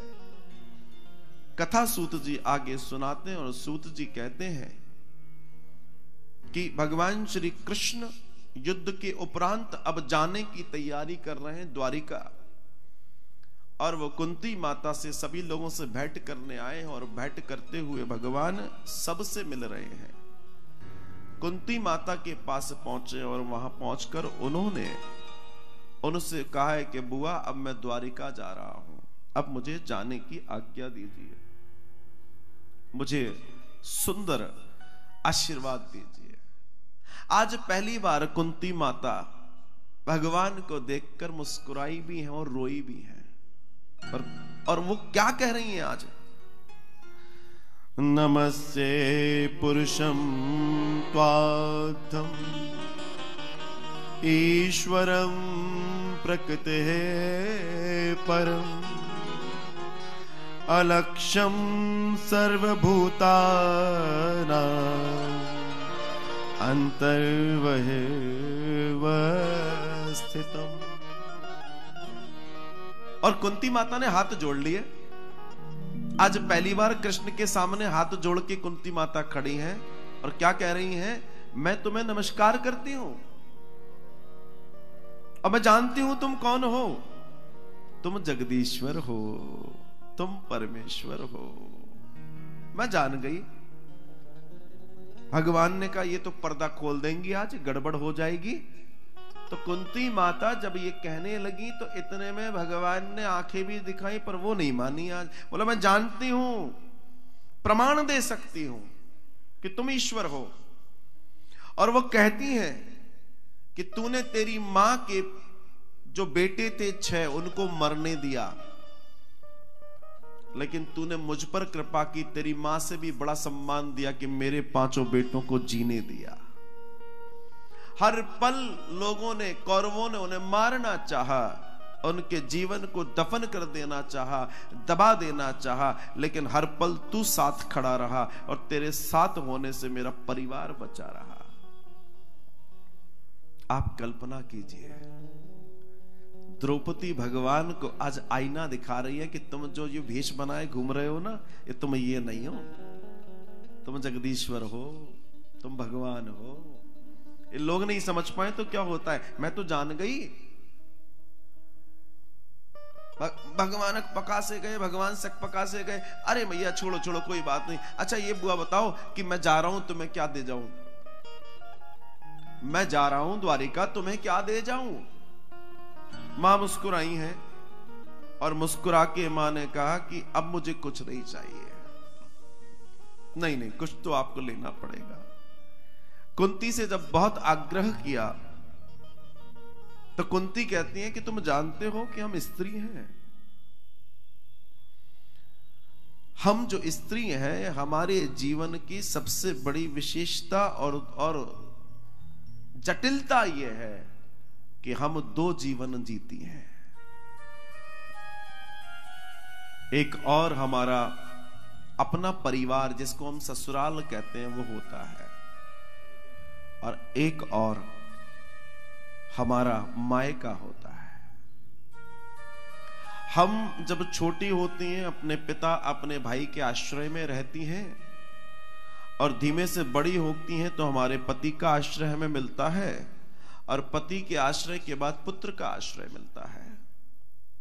हम अपने जीवन को जीती हैं, लेकिन इस पूरे जीवन को जीते जीते हमारे जीवन की एक सबसे बड़ी खूबी ये होती है, और अगर वो खूबी नहीं हुई तो हमारा जीवन नरक है, और खूबी हो गई तो स्वर्ग है, कि हमको अपने मायके और अपने ससुराल के बीच में ऐसी डोर बनानी पड़ती है, जो कि बिल्कुल एकता से जुड़ी रहे। हम पूरा जीवन जीती हैं, लेकिन इस जीवन में हमको कई बार बड़े कष्ट होते हैं, और बराबर दोनों के स्वभाव और भाव को रखना पड़ता है। हे कृष्ण, हे जगदीश्वर, हे परमेश्वर, हमारे जीवन में इतने कष्ट होते हैं कि जिसकी कल्पना आप नहीं कर सकते। नारी का जीवन इतना कष्टप्रद है। लेकिन उस सब के बावजूद भी तेरा सहारा रहता है तो सब आनंद से हो जाता है। भगवान कहते हैं, अरे माँ, आप ऐसी बातें मत करो। बुआ, आप एक तो बताओ, आपको क्या चाहिए? नहीं, मैं कुछ देना चाहता हूँ। विपद संतु न शाश्वत। तत्र तत्र जगत गुरु भवतो दर्शनम यस्या। अपूर्ण भव दर्शनम। अगर तुम कुछ देना चाहते हो तो फिर दे दो। भगवान ने कहा, क्या कुंती कहती है, दुख दे दो, दुख क्या दे दो? दुख दे दो, दुख। आप बताइए, भगवान सामने खड़े हो, लोगों ने करोड़ों करोड़ों वर्ष तपश्चर्या करी। और भगवान जब सामने आ जाते हैं तो उनसे वो क्या माँगता है? कभी आज तक किसी ने कोई ऐसा व्यक्ति आज तक तो नहीं मिला जिसने कहो कि भगवान दुख दे दो। एकमात्र कुंती है जो कह रही है कि दुख दे दो। जीवन हो तो ऐसा हो। साक्षात सब कुछ देने वाला, सब कुछ देने वाला, लेकिन कुंती चतुर है। इनका चातुर्य बड़ा सुंदर है। क्यों? क्योंकि इन्हें मालूम है कि दुख मांगने में फ़ायदा है। तो पूछा कि आपको वास्तव में क्या आपको दुख चाहिए? बोला हाँ दुख ही चाहिए। बोला, कैसी बातें कर रही हो बुआ? पूरा जीवन तुमने दुख में गुजार दिया। तुमने कभी सुख नहीं देखा। हर वक्त तुमने रोते हुए, हाथ जोड़ते हुए अपने पूरे जीवन को जिया है और आज तुम कहती है कि दुख दे तो लगता है तुम्हें सुख का स्वाद नहीं मालूम, इसलिए तुम दुख मांग रही हो। मुस्कुराई कुंती। और कुंती ने आज बड़ी सुंदर बात कह दी। नारायण, जब जीवन में सुख आता है तो कई बार लोग परमात्मा को भूल जाते हैं। मैं तुम्हें भूलना नहीं चाहती, क्योंकि तुम्हारे दिए हुए अनगिनित मेरे ऊपर उपकार है। मैं चाहती हूँ कि मैं सदा तुम्हारे निकट, तुम मेरे सदा निकट रहो। इसलिए मुझे दुख चाहिए, क्योंकि दुख ही वो समय होता है जिस समय 24 घंटे तेरा नाम चलता। तेरा ही नाम चलता। चलता ही रहता है। और जब सुख आ जाता है तो न जाने कौन कौन से नाम आ जाते हैं, फिर गड़बड़ हो जाती है। तो हे नारायण, हे जगदीश्वर, अगर तुम देना चाहते हो तो मुझे दुखों से भर दो। क्यों भर दो? जिससे जीवन भर, जितना जीवन बचा है तुम्हारा नाम लेते लेते कट जाए। और ये बात तो सही है कि जब जीवन में सुख बहुत सारे हो जाते हैं ना तो हम कई बार परमात्मा को जय जय कर देते हैं। जब सुख बढ़ जाते हैं, अपने तरीके से पूजा अर्चना करते हैं और जब दुखी होते हैं तो जैसे करना होता है, वैसे करते हैं। दिन भर करते हैं, भगवान को दिन रात याद करते हैं। और एक बात आपको बताऊँ, भगवान को जितना याद करते हो, वो याद करने की जो प्रक्रिया है, उस प्रक्रिया की सबसे बड़ी सुंदरता ये है। कि कहीं ना कहीं हमारे जीवन में हमने वो किया नहीं है, इसलिए आज करना पड़ रहा है। ऐसे समझ लो कि अगर हम करमाला कर रहे हैं सारे दिन सारे दिन करमाला कर रहे हैं 24 घंटे करमाला कर रहे हैं, सातों दिन करमाला कर रहे हैं, बारह महीने करमाला कर रहे हैं, लेकिन इतना सारा कार्य कर क्यों रहे हैं? इतना सारा काम, भाई, देखो, नौकरी भी करता है, व्यक्ति आठ घंटे की करता है। हम 24 घंटे ही राम नाम राम नाम कर रहे हैं, भगवान का नाम जप रहे हैं। क्यों? क्योंकि कभी एक समय में हमने अपने अच्छे समय, जब हम पे बढ़िया समय था, तब हमने उसका नाम नहीं लिया। तो जो उस समय हमने नहीं किया, वो आज इकट्ठा करके हमको करना पड़ रहा है। अब भले ही हम इसको हंस के करें या रो के करें, काम तो जो मिला है वो करना पड़ेगा तो बेहतर है कि हम हंस के ही करें। हमें हमें अगर देखो, ऐसे मान लो कि जीवन में दुख लिखा है, कुंती माता के संदर्भ में मैं समझूं कि अगर जीवन में दुख ही लिखा है तो कोई बात नहीं, दुख को हंस के काट लो ना। हमें तो मालूम है कि दुख है तो दुख के हंस को काट लिया जाए तो रोने की क्या आवश्यकता लेकिन अक्सर लोग अपने दुखों को रोकर काटते हैं और रोने की ऐसी आदत पड़ जाती है, जब जीवन में सुख आते हैं, तब भी वो रोते ही रहते हैं। ईश्वर से प्रेम अगर वास्तव में है, देखो दो तरीके की बात है एक मजबूरी में प्रेम, एक वास्तव में प्रेम। मजबूरी में प्रेम ये कि अब कुछ है ही नहीं करने के लिए तो भगवान का नाम ले भैया। और एक वास्तव में प्रेम कि भगवान का नाम ही सब कुछ कर सकता है। इन दोनों में अंतर है। तो जो लोग वास्तव में प्रेम करते हैं, उनके चेहरे खिले होते हैं। वो कभी शिकायत नहीं करते। और जो मजबूरी में भगवान का नाम लेते हैं, वो निरंतर शिकायत करते हैं। क्यों? क्योंकि भगवान पर विश्वास नहीं है। किसी ने कह दिया, ये करना है तो हम कर रहे हैं। अरे, जब परमात्मा हमारा है, हम उससे प्रेम करते हैं तो चाहे वो दुख में रखे या सुख में रखे, हम दुखी क्यों हो? अच्छा अगर उसकी बात करें तो वो ना हमें दुख में रखता, ना सुख में रखता, वो तो हमारे कर्मों के आधार पर हमें रखता है। अगर हम ये सोचे कि हमारे जीवन में घटनाएँ घट गई, बताओ कितना दुख है हमारे जीवन में, हमको कैसा जीवन मिल गया? आप सब माताएँ यहाँ बैठी हैं, मैं माताओं से भी एक प्रश्न पूछूँ। कई बार लगता होगा कि हमारे साथ गलत हुआ। हो सकता है ऐसा सोच में ऐसे विचार आता हो कि हमारे बच्चों ने घर से बाहर कर दिया या आज हमारा घर नहीं है या कुछ नहीं है। मगर एक बात, ये जो आप सोचते हो, इसके पीछे एक विचार और मैं दे रहा हूँ। अपने आप से ये भी प्रश्न करना कि कहीं ना कहीं हमारे प्रारब्ध में अगर ऐसा लिखा है तो हम दोष किसको दें? हमने जो किया है, हम वही भर रहे हैं। हम कोई नया काम नहीं कर रहे हैं। परमात्मा किसी का रिश्तेदार नहीं है कि किसी को ज़्यादा देगा, किसी को कम देगा। ईश्वर के यहाँ बड़ा संतुलित व्यवहार है। वो सूत सूत लेता है और सूत सूत देता है। हम अपने कर्मों की खेती काट रहे हैं।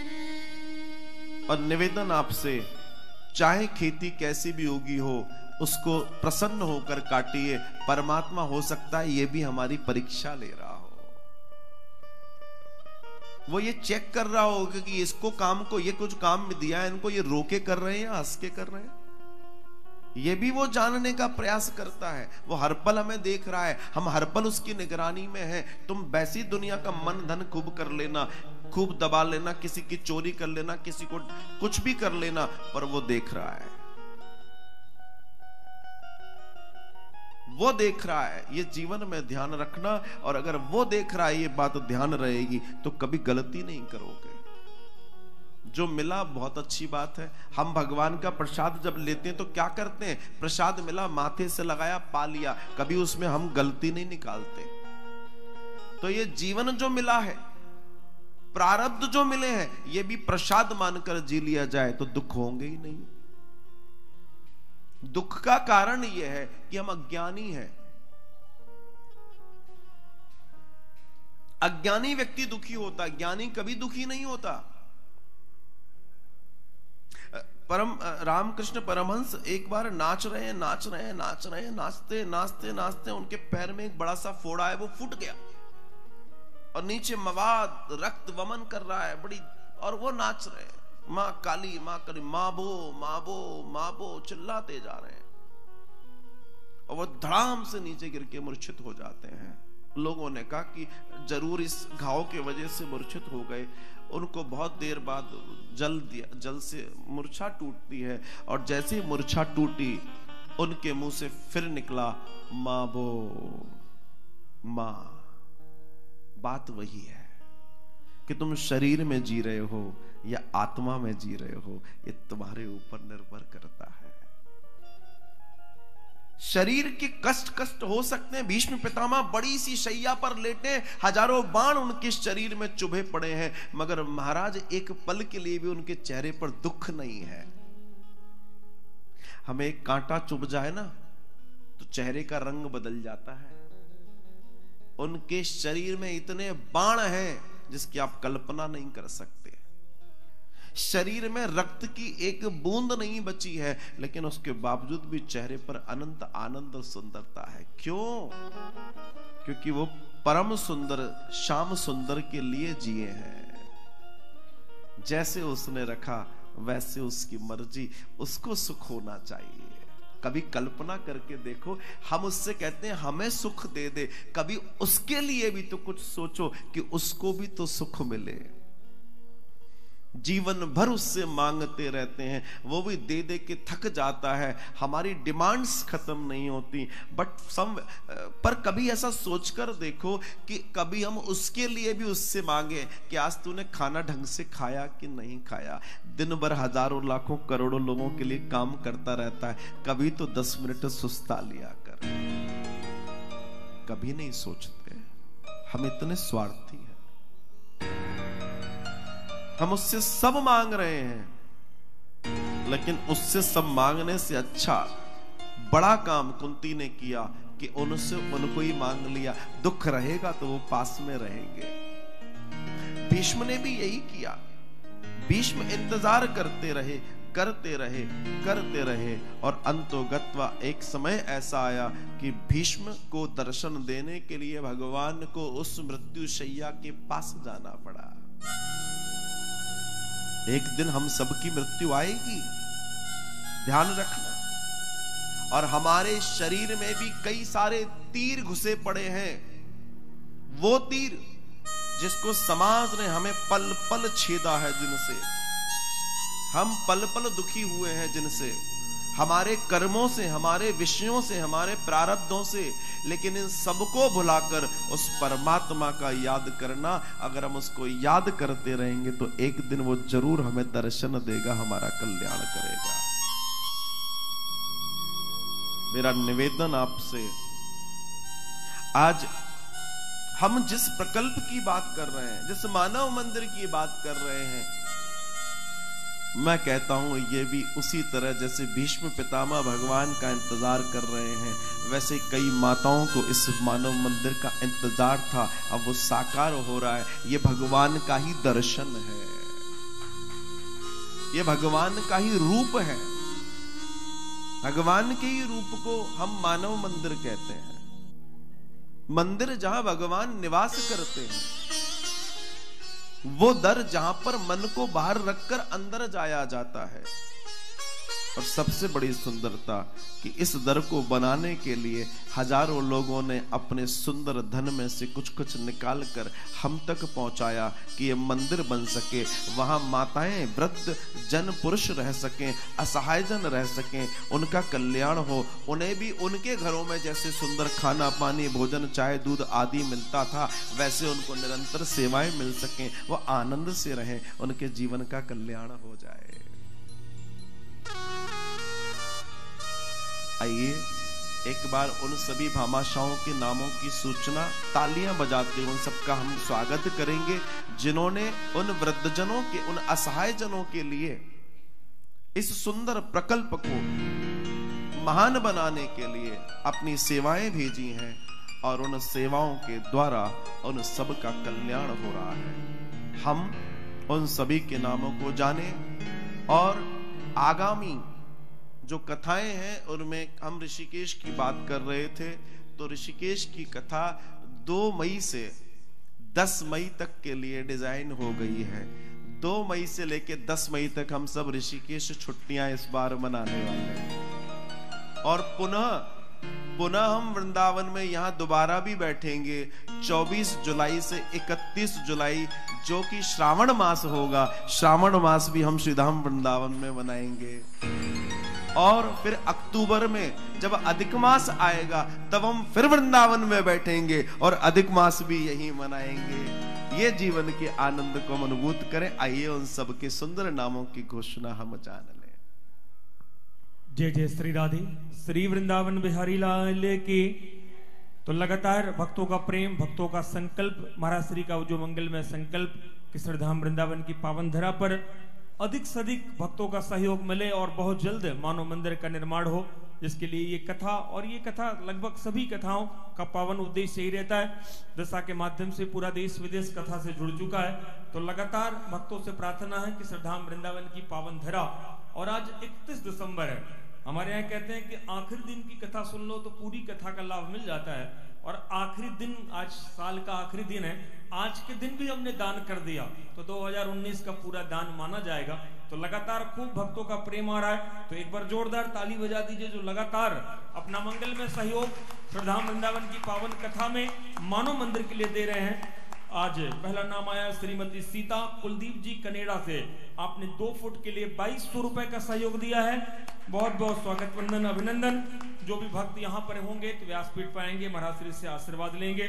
उसी क्रम में श्री चंद्रकला देवी जी टाक दिल्ली से इनके लिए जोरदार ताली बजा दीजिए। आप आजीवन सदस्य बनिए। इक्कीस हज़ार रुपए की मंगल में सेवा देकर तो जो भी भक्त बनना चाहते हैं तो आप इक्कीस हज़ार रुपए सेवा देकर, आप चाहे एक किस्त में, चाहे दस किस्त में भी सेवा राशि दे सकते हैं। संस्था की तरफ़ से प्रमाण पत्र, पटका और पटकी व्यासपीठ से आपका सम्मान होगा। तो इक्कीस हज़ार रुपए की सेवा आई है। और साथ ही साथ एक बार जोरदार ताली बजा दीजिए। जो बिटिया बाल्यावस्था से ही आजीवन सदस्य बनी है, ये बड़े सौभाग्य की, गौरव की बात है। नीतू कुमारी जी दिल्ली से हैं। आप इक्कीस हज़ार रुपए का सहयोग देकर आजीवन सदस्य बनी है बहुत छोटी सी उम्र में। आपका भी इस मनुश्री मानव सेवा संस्थान के माध्यम से बहुत बहुत स्वागत, वंदन, अभिनंदन। और उसी क्रम में श्री गीता नवीन श्रीवास्तव जी हैं। आप मुंबई से कथा श्रवण कर रहे हैं और आपने भी ग्यारह सौ रुपए का योगदान दिया है एक फुट भूमि के लिए। इनका भी बहुत बहुत स्वागत है। उसी क्रम में पूनम टंडन जी हैं फरीदाबाद से, आपने भी ग्यारह रुपए का योगदान दिया। अब जो भी भक्त एक फुट भूमि का सहयोग दे रहे हैं, उनके नामों की घोषणा है। अगर भक्त यहाँ पर हैं तो व्यासपीठ से आकर आशीर्वाद प्राप्त करेंगे। और ग्यारह सौ रुपए में संगीता रानी जी हैं अलीगढ़ से, ग्यारह सौ रुपए मालती देवी जी हैदराबाद से, ग्यारह सौ रुपए की मंगलमय राशि अंजू रानी जी पंजाब से, ग्यारह सौ रुपए स्वर्गीय श्री कृपाल सिंह इंदौर जी की पावन स्मृति में आपके परिवार की तरफ़ से आया है। और ग्यारह सौ रुपए अंजना शुक्ला जी लखनऊ से आप भी कथा श्रवण कर रही हैं। आपने भी एक फुट भूमि का सहयोग दिया है। उसी क्रम में ग्यारह सौ रुपए श्री लक्ष्मी गर्ग जी पुखराया कानपुर से हैं। आप ताली बजाते रहिए, हमारे सारे भक्तों का उत्साहवर्धन करिए, क्योंकि पूरा देश विदेश दिशा के माध्यम से आपको देख रहा और उसी क्रम में ग्यारह सौ रुपए की मंगल में सेवा, रूपमती जी दिल्ली से हैं, आपने भी दिया। ग्यारह सौ रुपए का मंगल में सहयोग, जसविंदर सिंह विनोद जी। जसविंदर सिंह विनोद बिट्टा जी हैं, आपने भी एक फुट भूमिदान का संकल्प लिया। उसी क्रम में ग्यारह सौ रुपए चंद्रकला जी हैं दिल्ली से, आपका भी मंगल में योगदान आया। ग्यारह सौ रुपए अभिषेक जी हैं, एक फुट भूमिदान। ग्यारह सौ रुपए ब्रजरानी जी ग्यारह सौ रुपए सालू जी, ग्यारह सौ रुपए ओम प्रकाश पुजारी जी, और ग्यारह सौ रुपए एम एस अग्रवाल जी, और ग्यारह सौ रुपए अंकिता गुप्ता जी। उन समस्त भक्तों के लिए जोरदार ताली बजा दीजिए, जिन्होंने अपनी गाढ़ी कमाई का अंश महाराज श्री को सुमंगल में संकल्प वान आश्रम और मानव मंदिर के निर्माण हेतु एक फुट भूमिदान में अपना सहयोग दिया। अब उसी क्रम में जिन भक्तों ने पाँच फुट भूमिदान का संकल्प लिया है, पचपन सौ रुपए की राशि देकर उन भक्तों के लिए भी आप जोरदार तालियों से स्वागत करेंगे। और गाजियाबाद से हैं नीता शर्मा जी। आपने पचपन सौ रुपए का योगदान दिया पाँच फुट के लिए। उसी क्रम में राजरानी जी दिल्ली पीतमपुरा से आपने भी पाँच फुट का योगदान दिया। इनके लिए भी स्वागत, वंदन, अभिनंदन। उसी क्रम में पचपन सौ रुपए पुष्यंत कुमार शर्मा जी हैं दिल्ली से। आपका भी पाँच फुट का सहयोग है। और उसी क्रम में पचपन सौ रुपए पीके अरोरा दिल्ली से। आपकी तालियाँ वो बजनी चाहिए। आज खूब भक्तों ने अपनी मंगल में सेवा मानव मंदिर के निर्माण के लिए दी है। उसी क्रम में पाँच हज़ार एक सौ रुपए निर्मल मेहरा जी हैं। आपने दिल्ली से आपकी भी मंगलमय सेवा आई है। और एक बार और जोरदार ताली बजा दीजिए, सात फुट ज़मीन के लिए सतहत्तर सौ रुपए की राशि दी है। बसंती बाई है जो इंदौर से कथा श्रवण कर रही है। आपका भी बहुत बहुत स्वागत, वंदन, अभिनंदन। और उसी क्रम में एक नाम अभी आया हुआ है, दो फुट का बाईस सौ रुपए का योगदान आया है। सुनंदा भट्टाचार्य जी है। और आज आपने दीक्षा भी ली है, आपने शरणागति भी ली है, उनके लिए जोरदार ताली बजा दीजिए आप दिल्ली से पधारी हैं और आपने भी दो फुट भूमिदान का संकल्प लिया मानव मंदिर के लिए। आपका भी इस मंच के माध्यम से बहुत बहुत स्वागत, वंदन, अभिनंदन। और तीन फुट भूमिदान का संकल्प लिया है। श्री गोपाल जी आसाम से आप कथा श्रवण कर रहे हैं तो उनके लिए भी आप जोरदार ताली बजा दीजिए। तो लगातार श्रद्धाम वृंदावन की पावन धरा, भागवत जी के मंगल में कथा के माध्यम से खूब भक्त मानव मंदिर के निर्माण के लिए अपना मंगल में सहयोग दे रहे हैं। अभी भी जो विभक्त दिशा के माध्यम से श्रवण कर रहे हैं तो आप चाहते हैं तो एक फुट ग्यारह सौ रुपए, पाँच फुट राशि पचपन सौ रुपए, दस फुट भूमि दान सहयोग राशि ग्यारह हज़ार रुपए। उसी प्रकार आप कक्ष का या सत्संग भवन का निर्माण कराना चाहते हैं तो आप नंबरों पर संपर्क कर सकते हैं। और एक बार और जोरदार ताली बजा दीजिए। सीमा देवी हावड़ा से कलकत्ता से आपकी भी मंगल में सेवा आई है। और नीतू कुमारी दिल्ली जी, आप भी आजीवन सदस्य बनिए इक्कीस हज़ार रुपए की सेवा देकर। इनका भी बहुत बहुत स्वागत, वंदन, अभिनंदन। तो जो भी भक्त यहाँ है, महाराज से आशीर्वाद लेंगे। तो जो भी भक्त दिशा के माध्यम से कथा श्रवण कर रहे हैं, आप भी चाहते हैं कि हमारी भी एक कुटिया श्रीधाम वृंदावन में बने, हम भी ब्रजवासी बने तो आप भी दो लाख इक्यावन हज़ार रुपए, तीन लाख इक्यावन हज़ार रुपए, या चार लाख इक्यावन हज़ार रुपए की मंगल में सेवा देकर आप अपनी कुटिया भी बनवा सकते हैं, एक कमरा का निर्माण करा सकते हैं। साथ ही साथ आप वानप्रस्थ आश्रम, अपना मंगलमय आश्रम, वानप्रस्थ आश्रम मानव मंदिर में व्यतीत करना चाहते हैं, भगवान के श्री चरणों में व्यतीत करना चाहते हैं तो सात लाख इक्यावन हज़ार रुपए की सेवा देकर आप अपना स्थान, अपनी कुटिया बुक करा सकते हैं। तो जोरदार तालियों से उन सभी भक्तों का सम्मान हो जाए, जिन्होंने अपनी मंगलमय सेवा, अपनी गाढ़ी कमाई का अंश महाराज श्री के मंगलमय संकल्प मानव मंदिर के निर्माण के लिए दिया।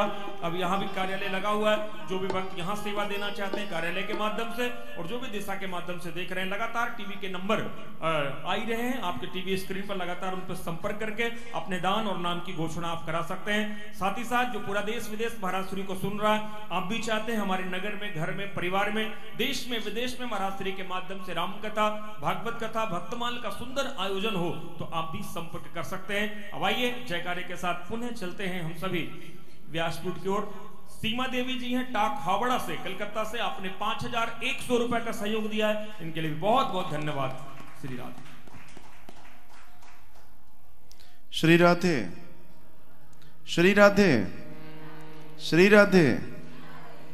देखिए, लोगों के हृदय में परमात्मा के लिए और उनके लोगों के लिए कितना प्रेम है। जिनका सामर्थ्य है, वो भी जिनका सामर्थ्य उतना नहीं दिखता कई बार, वो भी मुझे दिखते हैं कि वो इस महान काम के लिए, कार्य के लिए अपनी जितनी राशि हो सकती है, उसको लगाने का प्रयास करते हैं।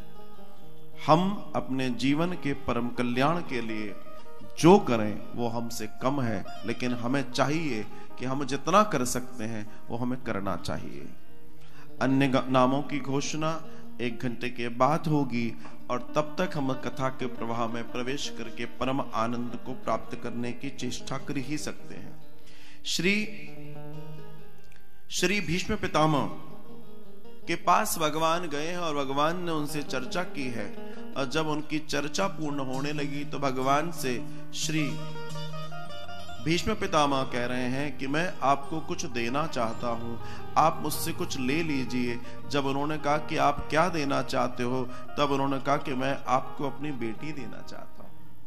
लोग खड़े हैं, लोगों ने सोचा, भाई, ऐसी कौन सी बात है? आज तक तो ये ब्रह्मचर्य का पालन करते हुए दिखे कि इनकी कौन सी बेटी हो गई? तब उन्होंने कहा कि मैं मती रूपी बेटी आपको देना चाहता हूँ। देखो, हम सब दे देते हैं भगवान को। लेकिन एक बात बहुत बड़ी है, हम अपनी मती नहीं देना चाहते। और इस मति में सबसे बड़ा अहंकार निवास करता है। अगर हम मति भगवान को दे भगवान को सर्वस्व देना है तो अपनी मति सौंपना बहुत आवश्यक है। ये भीष्म कर रहे हैं। और क्यों कर रहे हैं? क्योंकि जीवन भर इस तरीके से आपका आश्रय मिला, मिले। जब मैं अपने लोक को जाऊँ तो आपके दर्शन करके जाऊँ, क्योंकि आप मृत्यु के समय जो दर्शन होगा, जो मन में होगा, वही आगे जन्म मिलेगा, वैसी ही व्यवस्था मिलेगी। और हम तो श्रीधाम वृंदावन में हैं। इससे बड़ी सुंदर बात क्या हो सकती है कि परम मोक्षदायिनी श्रीधाम वृंदावन में निवास करने के लिए मानव मंदिर तैयार हो रहा है। वानप्रस्थ कुटिया तैयार हो, हो रही है। उन लोगों के लिए जिन लोगों के पास कोई कमी नहीं है सब कुछ ठीक है बाल बच्चे सब सेट हो गए हैं। अब वो चाहते हैं कि अपने वानप्रस्थ को भी हम सुंदर बनाकर श्रीधाम में मानव मंदिर में वानप्रस्थ कुटिया में रहें जिससे हम बिहारी जी के दर्शन करते करते इस शरीर को छोड़ें और आनंद से आगे बढ़ जाए। उन लोगों के लिए व्यवस्था तैयार हो रही है, जिनके पास कोई धनराशि नहीं है, कोई कुछ नहीं है, लेकिन वो भी मानव मंदिर में रहेंगे, आजीवन रहेंगे और अपने जीवन का परम कल्याण करेंगे। तो मैं तो यही कहूँगा कि इतना तो करना स्वामी, जब ये होना चाहिए ना, जीवन का अंत ऐसे ही होना चाहिए कि नहीं होना चाहिए? इतना तो करना स्वामी। जब प्राण तन से निकले, इतना तो करना स्वामी। जब प्राण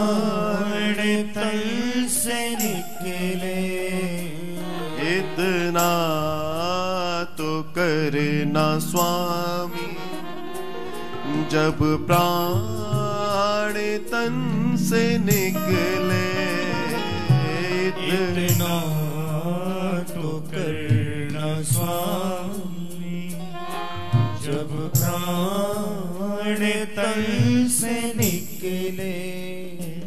गोविंद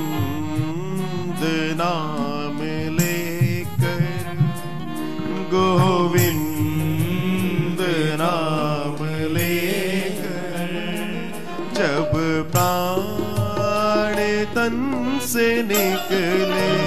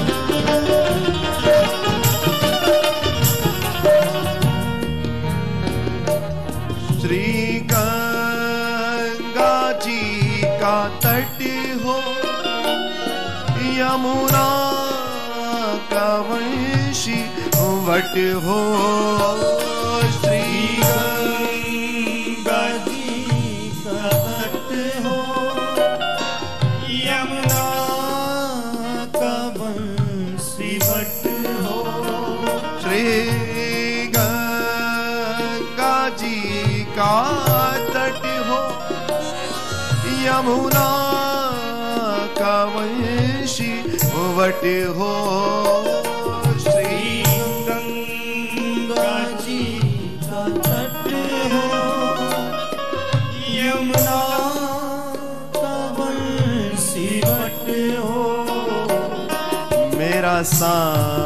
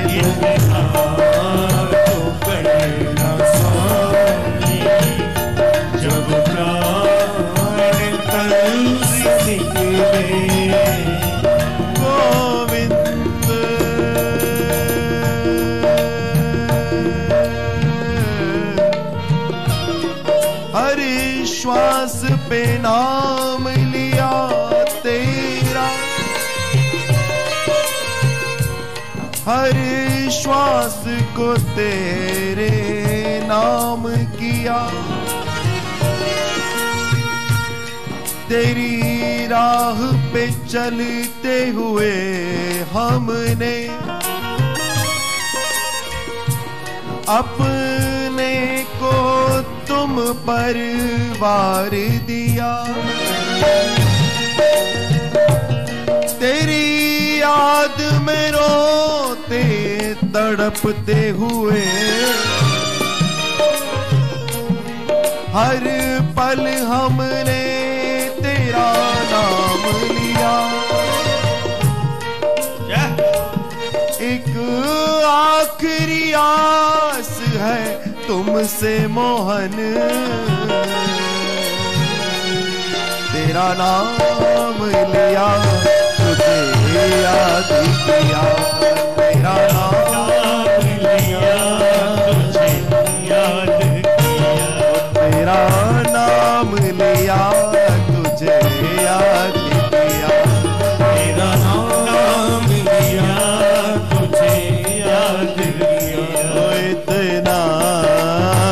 करना स्वामी।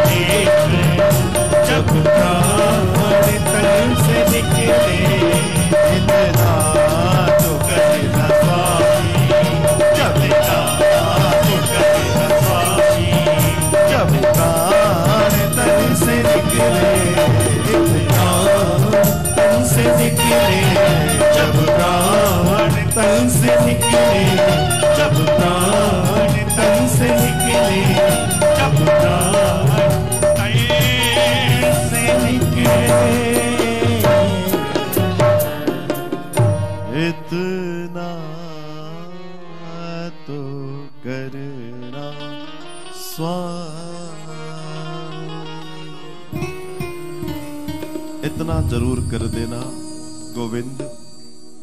जब ये शरीर से प्राण निकले, जब आत्मा बिलग हो तो क्षण हो ऐसा कि तू सामने हो। तेरा ये वृंदावन हो, तू हो, और सिर्फ़ तू और मैं हो और कोई ना हो। हमारा मिलन हो, हमारी तैयारी हो, हमारे द्वारा हो। श्री सूत जी श्री शौनिकादिकों से कहते हैं कि भगवान द्वारिका चले जाते हैं, भीष्म देह त्याग कर देते हैं। यहाँ उत्तरा के गर्भ में परीक्षित जी का जन्म होना है। और वहाँ एक युद्ध की विभीषिका से बचने के लिए भगवान दुर्योधन के पास जाकर निवेदन कर रहे हैं कि तुम एक काम छोटा सा कर दो ज़्यादा कुछ नहीं, पाँच गाँव दे दो। दुर्योधन कहता है, कुछ नहीं दूँगा, सुई के बराबर नहीं दूँगा, और ज़्यादा कुछ करोगे तो मैं तुम्हें भी अंदर बंद कर दूँगा। ज़्यादा मुझे ज्ञान ना सिखाओ। आपातकाल जब होता है, और जब विपत्ति काल होता है, तब सही सलाह कभी समझ नहीं आती। भगवान नारायण की अनुपम कृपा हुई है। और यहाँ पर विदुर जी के यहाँ भगवान पहुँचे विदुरानी से, उन्होंने कदली, बढ़िया केला के छिलके और केला आपने कथा सुनी है। बस अंतर इस कथा को मुझे छेड़ने का, ये विषय छेड़ने का अंतर सिर्फ़ इतना है कि तुम्हारे बड़े बड़े प्रसाद बड़े बड़े प्रासाद सब धरे रह जाते हैं, अगर मन के अंदर उसके लिए वो सुंदर भाव नहीं है तो। भाव के भूखे हैं भगवान। और भगवान की कृपा देखिए कि परमात्मा कितने रीझ गए और विदुरानी से कहने लगे, भूख लगी है। या दुनिया के लोग भोग लगा के बैठे उनका भोजन छोड़ते हैं, लेकिन साहब, आप देखिए कि छोटी सी खिचड़ी खाने के लिए वो वो जगन्नाथ अपनी मूर्त छोड़कर किसी झोपड़ी में जाकर कहता है, मुझे खिचड़ी खिला। वो कहती है, अभी समय नहीं है, थोड़ा रुक जा, काम करना है। भगवान खुद खुद ही बना रहे हैं, खुद ही खिला रहे हैं और खुद ही खा रहे हैं। आप कल्पना कीजिए। वो तो देखो, चोर चोर तो पकड़ा जाता है एक दिन। तो एक दिन बहुत जब देर हो गई, जल्दबाजी थी, कर्मा ने कहा, मेरे पास आज बहुत सारा काम है, अभी थोड़ी देर से पकाती हूँ। भगवान ने कहा, तू जब तक पकाएगी, तब तक वहाँ वहाँ जगन्नाथ में पुजारी लोग मेरा भोजन और तारा सब कुछ ले आएँगे तो बेहतर है मैं ही बना दूँ। भगवान बनाने बढ़ जाते हैं। बढ़िया सी खिचड़ी बनाई है। कर्मा से कह रहे हैं, तूने बहुत काम कर लिया, तू भी थोड़ी सी खा ले। कर्मा को भी थोड़ी सी खिलाई है खुद भी खाने में लगे। देखा, टाइम हो गया। तुरंत यहाँ से भागे हैं और अपनी मूर्त में जाकर बैठ गए और यहाँ पुजारियों ने देखा कि आज क्या बात है, अभी तो भोग न लगा, इनके होठों पर कैसी खिचड़ी लगी है भाई? और जब कहानी खुली तो बड़े बड़े ब्राह्मण बैठे रह गए कि अरे, हम तो न जाने क्या क्या सोचते थे, ये तो वहाँ जाकर भी खेल कर आए। बस यही दयानिधि है। जरा सी बात पर दयानिधि रीझ जाते हैं। आप रिझाने की चेष्टा तो कीजिए। वो वो वो वो वो करने का, वो करने का, वो हो जाने का प्रयास तो कीजिए कि वो एक दिन खुद हमको ढूंढे। हम क्या उसे ढूंढेंगे? हम खुद खोए हुए हैं। इस दुनिया में आए थे, करने कुछ करने कुछ लगे। हम कुछ न जानते, न मानते, न करते। बचपन से लेके बुढ़ापे तक हम कई सारे प्रयास करने में लगे हैं, लेकिन असल में हमारा प्रयास परमात्मा को पाने का है या नहीं, ये बड़ी बात है। भगवान का नाम लेना भगवान को पाना नहीं है।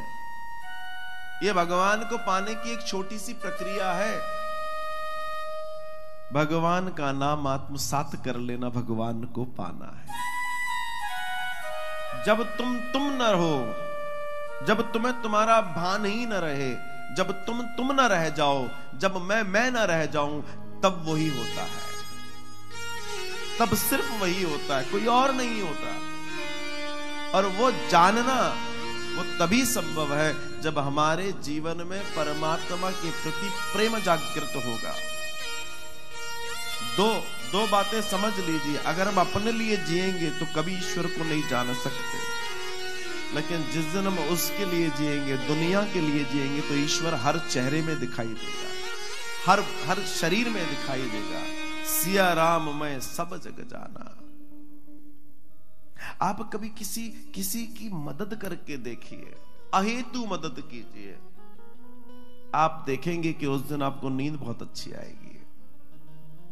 आप किसी का साथ देने का प्रयास कीजिए, किसी के कष्टों को दूर करने का प्रयास कीजिए। आप देखेंगे उस दिन आपको बहुत अच्छा लगने वाला है। एक वैज्ञानिक खोज हुई है, वैज्ञानिकों ने खोज की है। जिन लोगों के हृदय में दया ज़्यादा होती है, उनकी आयु लंबी होती है और वो बीमार कम पड़ते हैं। दयावान लोग, मददगार लोग, जो लोग मदद करते हैं लोगों की, उनकी आयु लंबी होती है, वो स्वस्थ रहते हैं, ज़्यादा बीमार नहीं पड़ते। कारण, क्योंकि उनके अंदर खुशी होती है और जहाँ खुशी समाई होती है, वहाँ बीमारी की जगह नहीं होती साहब वहाँ बीमारी आती नहीं है। और ये बड़ी सीधी सीधी सी कहानी है, समझ सको तो समझ लो, ना समझे वो अनाड़ी है, मैं कुछ नहीं कर सकता। विदुर जी को भगा दिया। अब विदुर जी को राज्य से निकाल दिया, विदुर जी आगे बढ़े हैं, मार्ग में गए हैं, यहाँ भगवान ने स्वधाम जाने का कार्यक्रम बना लिया। श्री उद्धव जी को पादुकाएँ दी हैं, विदुर जी को मिले हैं भगवान, दोनों ने भगवान के रूप सौंदर्य और उनके गुणों को बड़े गाना शुरू कर दिया। विदुर जी और मैत्री, विदुर जी और उद्धव जी भगवान के गुणों की चर्चा कर रहे हैं। चर्चा करते करते जीवन में बड़ा आनंद आता है और बात आगे बढ़ती है। मगर उसके पहले जो परीक्षित हैं, परीक्षित को पांडवों ने गादी पर बिठा दिया है। क्यों बिठा दिया? क्योंकि पता पड़ा कि भगवान सुधाम चले गए हैं। भगवान सुधाम चले गए, माता कुंती ने सुना, शरीर छोड़ दिया। शरीर वही है जो भगवान का नाम जब तक है, भगवान का धान तब तक है, भगवान का धाम जब तक है, जब तक शरीर है। और जिस दिन इनमें से कोई भी चीज़ छूटे, शरीर भी छूट जाना चाहिए। राजा दशरथ जब तक जिए राम के लिए जिए और राम गए तो राजा दशरथ भी शरीर छोड़ गए। जीवन हो तो ऐसा हो।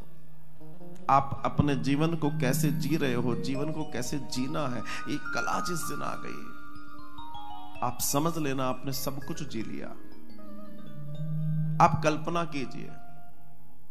आप रोज कथाएँ सुनते हैं, क्योंकि अगर आप बैठे हैं तो आप रोज सुनने वाले हैं। टेलीविज़न पर इस समय जितने लोग कथा सुन रहे हैं, रोज कथा सुनते हैं। क्यों सुनते हैं? क्योंकि इनको कथा से प्रेम है, इनको भगवान की लीलाओं से प्रेम है। ये एक बात। दूसरी बात, कई बार बहुत दिन तक कथा सुनते हैं, बहुत सालों से कथा सुनते हैं, पर जीवन में धैर्य नहीं आया, प्रेम नहीं आया, विश्वास नहीं आया, दया नहीं आई, करुणा नहीं आई, सिर्फ़ ज्ञानी बन के सुनेंगे तो ऐसा होगा। बालक भाव से जब भी जो कथा सुनता है, उसके जीवन में परिवर्तन आता है, नारायण दर्शन देते हैं। मगर जब वयस्क बन के सुनते हैं, दुनियादारी के बन के सुनते हैं तो कभी कुछ समझ नहीं आता। आप क्या बनकर, क्या होकर कथा सुन रहे हैं? ये विशेष है। विशेष ये नहीं है कि आप कथा सुन रहे हैं। आप नहीं भी चाहेंगे तो भी कानों में पड़ेगा। कोई घर में सुन रहा है, चार लोगों को मजबूरी है सुनना। लेकिन मजबूरी यहाँ काम नहीं करे। काम यह होना चाहिए कि आप कथा सुन क्यों रहे हैं? और और वो लोग जो आपके विरोध में खड़े हैं, वो विरोध में इसलिए खड़े हैं कई बार कि आप कथा तो बहुत समय से सुन रहे हैं, आप में कथा नहीं दिखती। तो वो कहते हैं, ये नौटंकी क्यों? वो अपनी जगह सही है। लेकिन जब आप कथा सुनते सुनते आप में कथा दिखने लगे, आपको कहने की ज़रूरत नहीं पड़े कि आप कथा के प्रेमी हैं।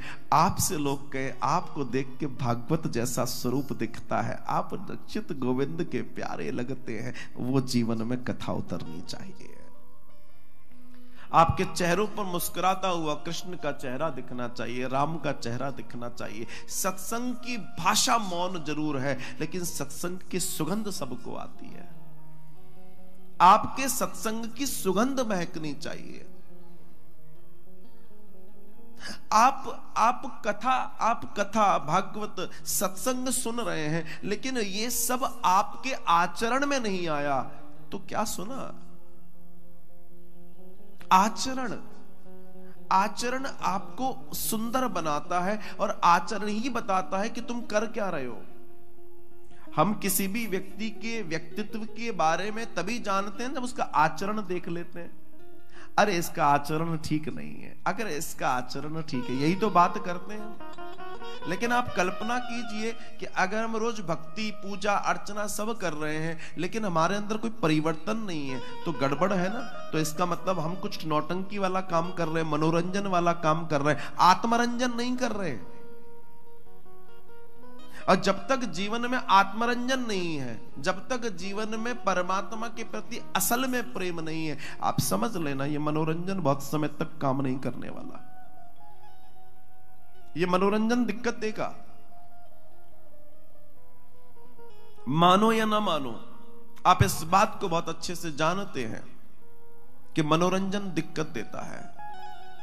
मनोरंजन कभी भी आपको सुख नहीं दे सकता। आपकी उम्र अब, मान लीजिए, उस परमात्मा से मिलन की ओर बढ़ रही है। और इस मिलन की ओर बढ़ते हुए भी अगर हम दुनियादारी में अपने हृदय को लगाए बैठे हैं तो समझ लेना ज्ञान है। और इस अज्ञान से बचो, क्योंकि तुम्हें रोटी की दौड़ हो सकती है, तुम्हें कपड़ों की दौड़ हो सकती है। तुम्हारी लड़ाई रोटी की, कपड़े की, मकान की हो सकती है। लेकिन जिस दिन तुम्हारी लड़ाई उस परम तत्व को पाने की हो जाएगी, सारी चीज़ें बौनी हो जाएँगी, छोटी हो जाएँगी। कर किसके लिए रहे हैं? ज़्यादातर लोग रोटी, कपड़ा, मकान के लिए कर रहे हैं। और दुख की बात यह है कि इसका कहीं अंत नहीं है। तुम्हें रोज रोटी चाहिए, रोज कपड़ा चाहिए, रोज मकान चाहिए। मगर असल में किसको चाहिए? आत्मा को या शरीर को? ये सब चाहिए शरीर को, लेकिन हमारी आत्मा को भी इसके साथ हम नौकर बना के रख देते हैं। कृपा करके इस बात का ध्यान दीजिए कि आत्मा का अपना कर्म है, शरीर का अपना कर्म है, प्राणों का अपना कर्म है। सबके अपने अपने कर्म हम इनको मिक्स कर बैठे हैं, जोड़ दिया हमने सबको, और यही कारण है कि हमारे हमारे जीवन में दुख है, बीमारी है। निराशा है, असहजता है। क्यों? क्योंकि हम परमात्मा से प्रेम करने के नाटक में हैं। प्रेम करते कम है। कड़वी बात बोल रहा हूँ। क्योंकि अगर परमात्मा से प्रेम है तो फिर हम भीड़ में रहते हुए लोगों को धक्का नहीं देंगे। हमारे, हमारी लाइन टूट गई तो हम किसी पर चिल्लाएँगे नहीं। हम प्रसाद की लाइन में खड़े तो अपनी बारी का निश्चिंता से इंतज़ार करेंगे। हम किसी की धक्का मुक्की नहीं करेंगे। अगर हम ये सब कर रहे हैं चीख रहे हैं, चिल्ला रहे हैं तो आप समझ लेना, शरीरों में जी रहे हैं, आत्मा में नहीं जी रहे ये सब शरीर के धर्म है। आत्मा का भोजन परमात्मा है और आत्मा का भोजन परमात्मा जिस दिन उसको मिल गया ना, उसके बाद किसी चीज़ की ज़रूरत ही नहीं रह जाती। वो ज़रूरत खत्म हो जाती है। परीक्षित जी राज्य मिल गया। एक दिन परीक्षित जी ने देखा कि एक भद्र पुरुष बैल को मार रहा है। उसके तीन पैर काट दिए बगल में गौ माता खड़ी है कप कपा रही है। उस शूद्र को देखकर परीक्षित जी ने डांटा है। परिचय लिया है, उसने बताया, मेरा नाम कली है।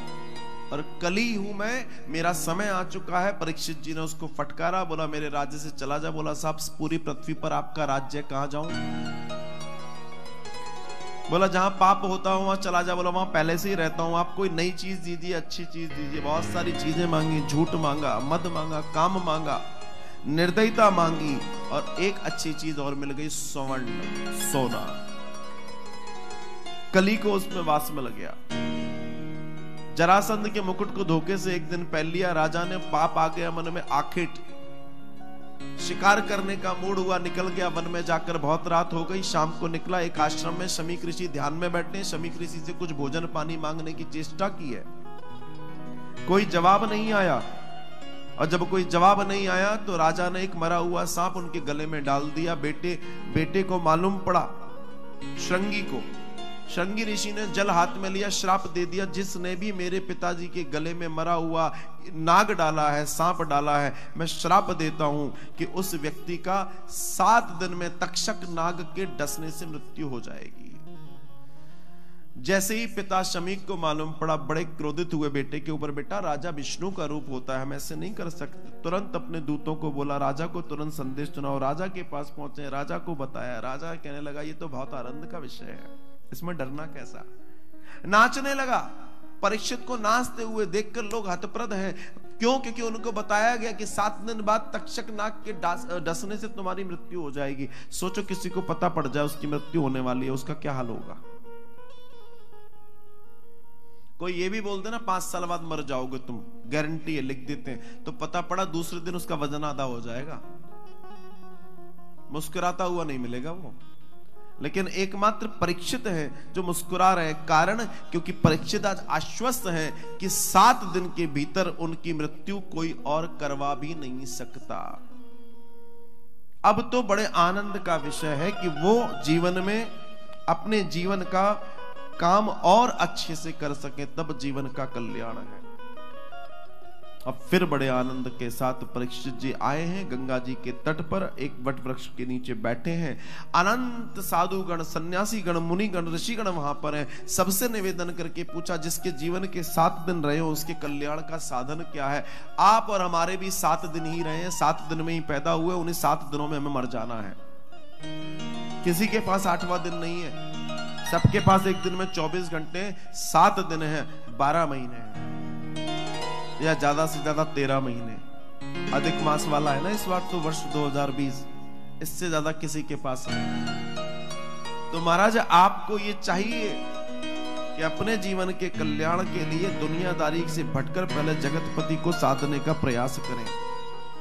राजा को जब कोई संतुष्टि संतुष्टि वाला प्रश्न का जवाब नहीं मिला, तब जाकर वो वट वृक्ष के नीचे ध्यान लगाकर बैठ जाते हैं और जैसे वो ध्यान में बैठे, वहीं उन्होंने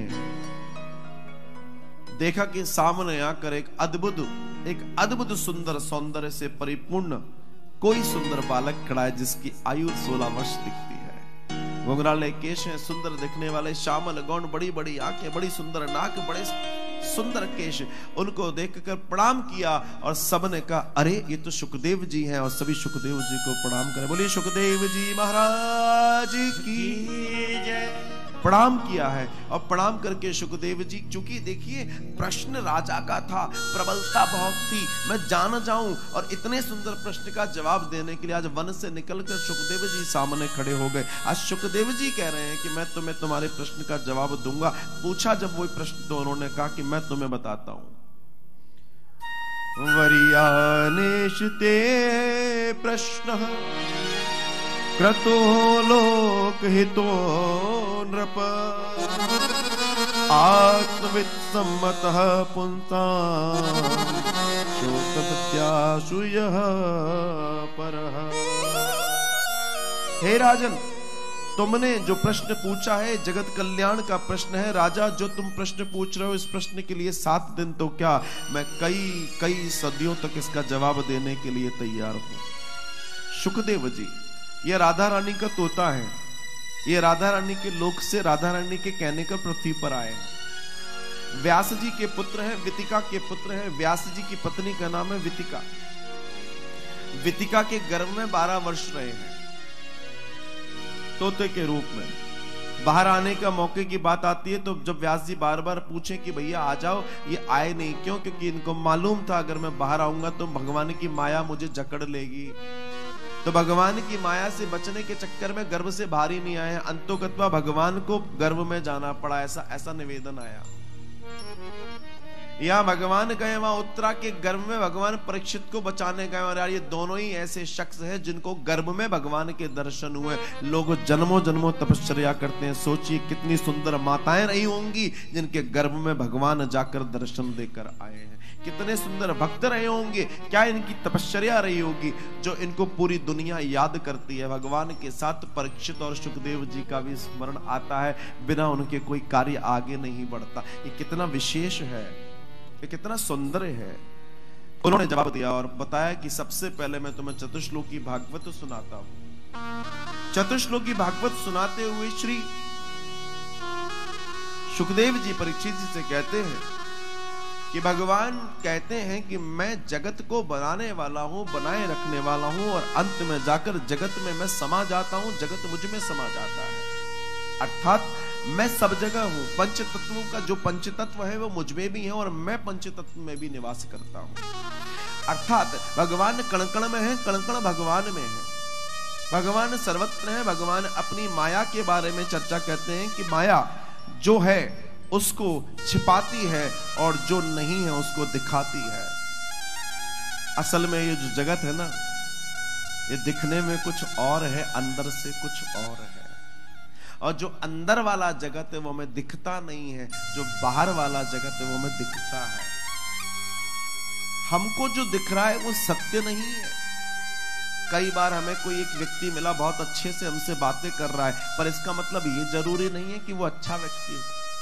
कई बार हमें कोई व्यक्ति मिला, वो कड़वा बोलता है, वो तीखा बोलता है। इसका मतलब ये भी नहीं हो सकता कि वो व्यक्ति गलत हो। बस अंतर इतना है धीमे धीमे व्यवहार करते करते समझ आएगा कि अच्छा कौन है और बुरा कौन है। ये व्यवहार से समझ आता है और समझ से समझ आता है। भगवान तीसरे श्लोक में जीवात्मा की व्याख्या करते हुए कहते हैं कि जो जीव है उसमें मैं निवास करता हूँ। जो पंच तत्व से बना हुआ जीव है, मैं उसमें निवास करता हूँ। अर्थात मैं हवा में भी हूँ, मैं जल में भी हूँ, मैं पृथ्वी में भी हूँ, मैं आकाश में भी हूँ, मैं मैं मैं अग्नि में भी हूँ, और ये पंच तत्व मुझमें भी निवास करते हैं। भगवान जीवात्मा के बारे में बता रहे हैं। इसके बाद भगवान ने अंतिम श्लोक में जो दर्शन दिया है, वो बताया कि माया से बचने का उपाय क्या है? तो जब जब पूछा कि माया से बचने का उपाय क्या है तो भगवान बताते हैं, माया से बचने का उपाय सिर्फ़ एक है, मायापति के हो जाओ, जगतपति के हो जाओ। जगतपति के होने के साथ साथ माया अपने आप आपकी गुलाम बन जाती है। अंतर इतना है कि हम जगतपति के नहीं होते, मायापति के हो जाते हैं। हम माया हम माया को सर्वस्व मान के उसके पीछे दौड़ना ज़्यादा उचित समझते हैं। जबकि मायापति को या जगतपति को साध लिया तो माया हमारा कुछ नहीं कर सकती। असल बात यह है कि हमें घेर किसने रखा है? माया ने। माया रूपी जाल भगवान ने पूरे संसार के हर प्राणी के ऊपर फेंक रखा है। जो समझदार है, वो बच चुका है। जो भगवान के चरणों में है, वो बचा हुआ है। जो भगवान से दूर है, वो फंसा हुआ है। एक मछुआरा जब मछली पकड़ने के लिए जाल को फेंकता है तो मछुआरे के चरणों के पास, पैरों के पास उसके सबसे निकट जो मछलियाँ होती है, उनके ऊपर जाल नहीं गिरता, क्योंकि जाल दूर फेंका जाता है। भगवान की माया का जाल भी ऐसा है, भगवान की माया का जाल जब वो फेंकते हैं, बचेगा वही जो भगवान के चरणों का दास होगा, उनकी कथा उनके सत्संग से अपने जीवन को जीता होगा। वो बचेगा। अर्थात वो सब जो भगवान से दूर है, वो एक दिन उस जाल में ज़रूर फंसेंगे, और उनके साथ क्या होगा, ये आप अच्छे से जानते हैं। भगवान का संवाद होता है। विदुर जी, मैत्री जी से मिलते हैं। मैत्री जी बताते हैं कि किस तरीके से आनंद हो। भगवान से मैत्री जी कुछ प्रश्न, मैत्री जी से विदुर जी कुछ प्रश्न करते हैं। और प्रश्न बड़े सरल हैं कि दुनिया दुनिया भगवान ने क्यों बनाई? बनाई तो ऐसी क्यों बनाई? इतना ये सब क्यों किया? वो सब क्यों किया? कर्म, अकर्म, विकर्म क्या है? तो भगवान साकार क्यों हो जाते हैं? जब निराकार है तो जब उनका कोई रूप ही नहीं है। भगवान तो निराकार है ना। तो क्यों असाकार हो जाते हैं? एक संत दृष्टि देखिए कितनी सुंदर है। एक संत ने बताया, बड़े सुंदर दर्शन दिया कि देखिए हवा सर्वत्र है। पूरे पूरे वायुमंडल में हवाई हवा है। लेकिन आपकी कार, आपका स्कूटर जब उसमें से हवा निकल जाती है, पंचर हो जाता है तो हम क्या कहते हैं? हाय, हवा निकल गई, अब हम क्या करें? अगर दूसरी दृष्टि में देखा जाए तो हवा निकल कहाँ गई? हवा तो सर्वत्र है। हवा तो कहीं नहीं निकली। अच्छा हवा सब जगह है तो हवा निकल गई तो उसको बोलो कि भाई अंदर घुस जा। तो वो घुसती भी नहीं है, वो टायर फूलता भी नहीं है, जब हवा सर्वत्र है तो। लेकिन वहीं उस टायर को वहीं उस उस ट्यूब को जब हम किसी स्पेशलिस्ट के पास ले जाते हैं। तो वो स्पेशलिस्ट उसी हवा को एक यंत्र के माध्यम से आकार देकर उस हवा, उस ट्यूब में भर के उसको साकार आकार दे देता है। वो ट्यूब में जब हवा भर जाती है तो वो काम करती है। उसको एक गोल आकार मिल जाता है। हवा निकल जाती है तो उसका आकार आड़ा टेढ़ा रहता है। बस यही साकार स्वरूप के दर्शन है। हमारे को चाहिए कि हम किसी परमात्मा की सन्नति प्राप्त संत के माध्यम में बैठकर उस सगुण, उस निर्गुण दोनों को जानने की चेष्टा करने के लिए अपने आप को उपलब्ध करा के जीवन का कल्याण कर ले। कल्पना कीजिए, वो परमात्मा जब दया करने पर आ जाए तो कितनी दया कर सकता है? कल्पना कीजिए, परमात्मा जब देने पर आ जाए तो कितना दे सकता है? हमारे पास लाखों, हज़ारों उदाहरण है, लेकिन समस्या सिर्फ़ यही है। भगवान को मनोरंजन की तरह पूज रहे हैं जो लोग, उनके जीवन में कभी घटना नहीं घटती। मैं तो कई बार ये भी कहता हूँ कि आप अपने ठाकुर जी के जो, ठाकुर जी को जो लिए लिए डोलते हो ना, मैं उसके भी, मैं नहीं समझता ये कोई बात है। परमात्मा को भी शुचिता देनी ज़रूरी है। आप कोई मीरा नहीं है, कोई विठल नहीं है, कोई रैदास नहीं है, कोई नामदेव नहीं है। आपका वो वैशिष्ट नहीं है, आप में वो साधने की ताकत नहीं है। और अगर है तो फिर डोलने की ज़रूरत क्या है? जहाँ तुम वो वहीं डोलेगा। बड़ी सीधी सी बात है। उसको परमानंद, उसको विराट ही रहने दो। उसको इतना छोटा मत बनाओ कि उसको लिए लिए गलियों में डोलो। अरे उसको स्थापित करो अपने हृदय में, अपने मंदिर में, अपने जहाँ भी है। पर ये भगवान कोई खिलौना नहीं है। मीरा को पढ़ना बहुत आसान है, पर मीरा को उतारना बहुत मुश्किल है। अगर अपने आप को आप मीरा मानते हो तो आपसे बड़ा कोई मूर्ख नहीं है। आप लगता है मीरा का अपमान कर रहे हो।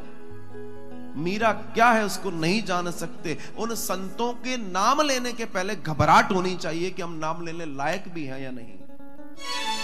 उनके जीवन का एक शब्द भी हमारे जीवन में है या नहीं? और अगर ये बात समझ जाओ तो जीवन में कभी कोई दिक्कत नहीं हो सकती, वरना संतों का अपमान भी हम कहीं ना कहीं कर रहे हैं। वो तो पी गई थी, विष का प्याला तुम विष को छोड़ो, बढ़िया उबलता हुआ एक प्याला ही पी जाओ, तुम मान जाऊँ मैं। तब तो मानो कि तुम हो बहुत बड़े भक्त। महाराज, जितना लेवल है, उस लेवल में आनंद करो। मैं कहता हूँ, भगवान बहुत दयालु हैं, लेकिन भगवान को आप, क्या कहते हो उसे, भ्रमित नहीं कर सकते। उसकी आँखें हज़ार हैं, उसके हाथ लाखों हैं। उसको भ्रमित मत कीजिए, प्लीज़। क्योंकि वो वो बड़ा चालाक है। उसकी डंडी जब पड़ती है ना तो आवाज़ नहीं आती। और मुस्कुरा के निकल जाता है बगल से, पता भी नहीं पड़ता। बस इतना सा कर लीजिए, जीवन में आनंद आ जाएगा। वो जो कर रहा है, वो जो करवाने वाला है, उस कर्ता के उस कारण को जान लीजिए। अगर हम वो जान गए तो जीवन के समस्त आनंदों को हम जान जाएँगे। श्री मैत्रेय जी से विदुर जी संवाद कर रहे हैं तो विदुर जी जब ये प्रश्न करते हैं तो विदुर जी को मैत्रेय जी बताते हैं कि ब्रह्मा ने सृष्टि बनाई। सृष्टि में उन्होंने कई रूप देने का प्रयास किया पर सृष्टि आगे नहीं बढ़ी। तब एक दिन उन, विचार ही कर रहे थे कि उनके दाएँ और बाएँ भाग से पुरुष और स्त्री का उद्गम हुआ मनु और शत्रुपा का उद्गम हुआ। उन्होंने उन दोनों को उन्होंने निवेदन किया आदेश किया कि बेटा तुम आगे सृष्टि को मैथुनी सृष्टि की तरह आगे बढ़ाओ संतति पैदा करो और आगे बढ़ जाओ। दोनों ने वही प्रयास किया। लेकिन खड़े हैं दोनों। पूछा, क्यों खड़े हो? बोला, सब रहे कहा? आपने तो बोल दिया, बढ़िया संसार, बढ़िया सुंदर, आने बढ़िया। लेकिन रहे कहा? क्योंकि जल जल, जली जल से भरी हुई पृथ्वी थी। तो करना क्या है? बोला, हिरणाक्ष पूरी पृथ्वी को पाताल में ले गया है। कौन लाएगा? विचार ही कर रहे हैं कि तभी श्री ब्रह्मा जी के दाहिने नाक से एक जीव बाहर निकला। देखते ही देखते आकाश में छा गया चतुर्भुजी, उनका स्वरूप है और जो मुख है वो शूकर का है।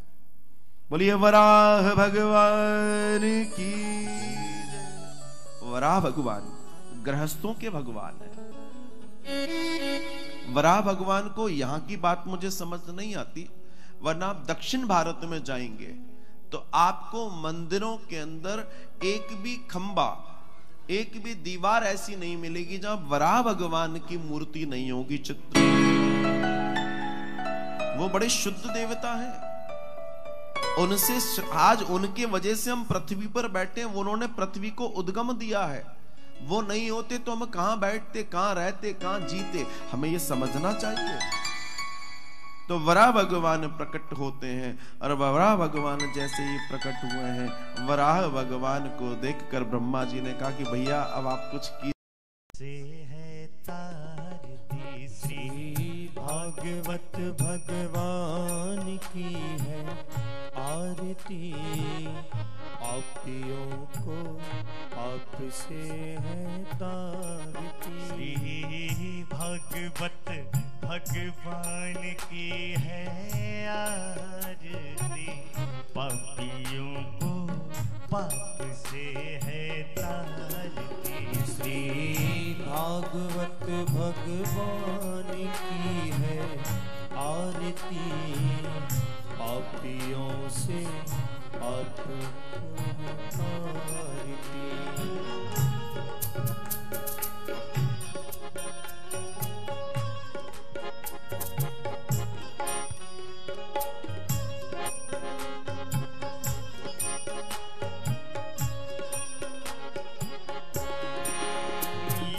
अमर ग्रंथ ये मुक्ति पंथ ये पंचम निराला नव ज्योति जगाने वाला। ये अमर ग्रंथ, ये मुक्ति पंथ, ये पंचम वेद निराला नभ ज्योति जगाने वाला। हरि नाम यही, हरि ध्यान यही, हरि नाम यही, हरि ध्यान यही। जग के मंगल की है आरती। पापियों को पाप से है तारती। श्री भागवत भगवान की है आरती।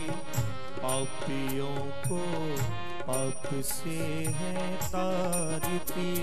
ये शांति गीत पावन पुनीत पापों को मिटाने वाला हरि दर्श कराने वाला। ये शांति गीत पावन पुनीत पापों को मिटाने वाला हरि दर्श कराने वाला। ये सुख करनी ये दुख हरनी ये सुख करनी ये दुख हरनी। श्री मधुसूदन की है आरती। पापियों को पाप से है तारती। श्री भागवत भगवान की है आरती। पापियों को पाप से है तारती।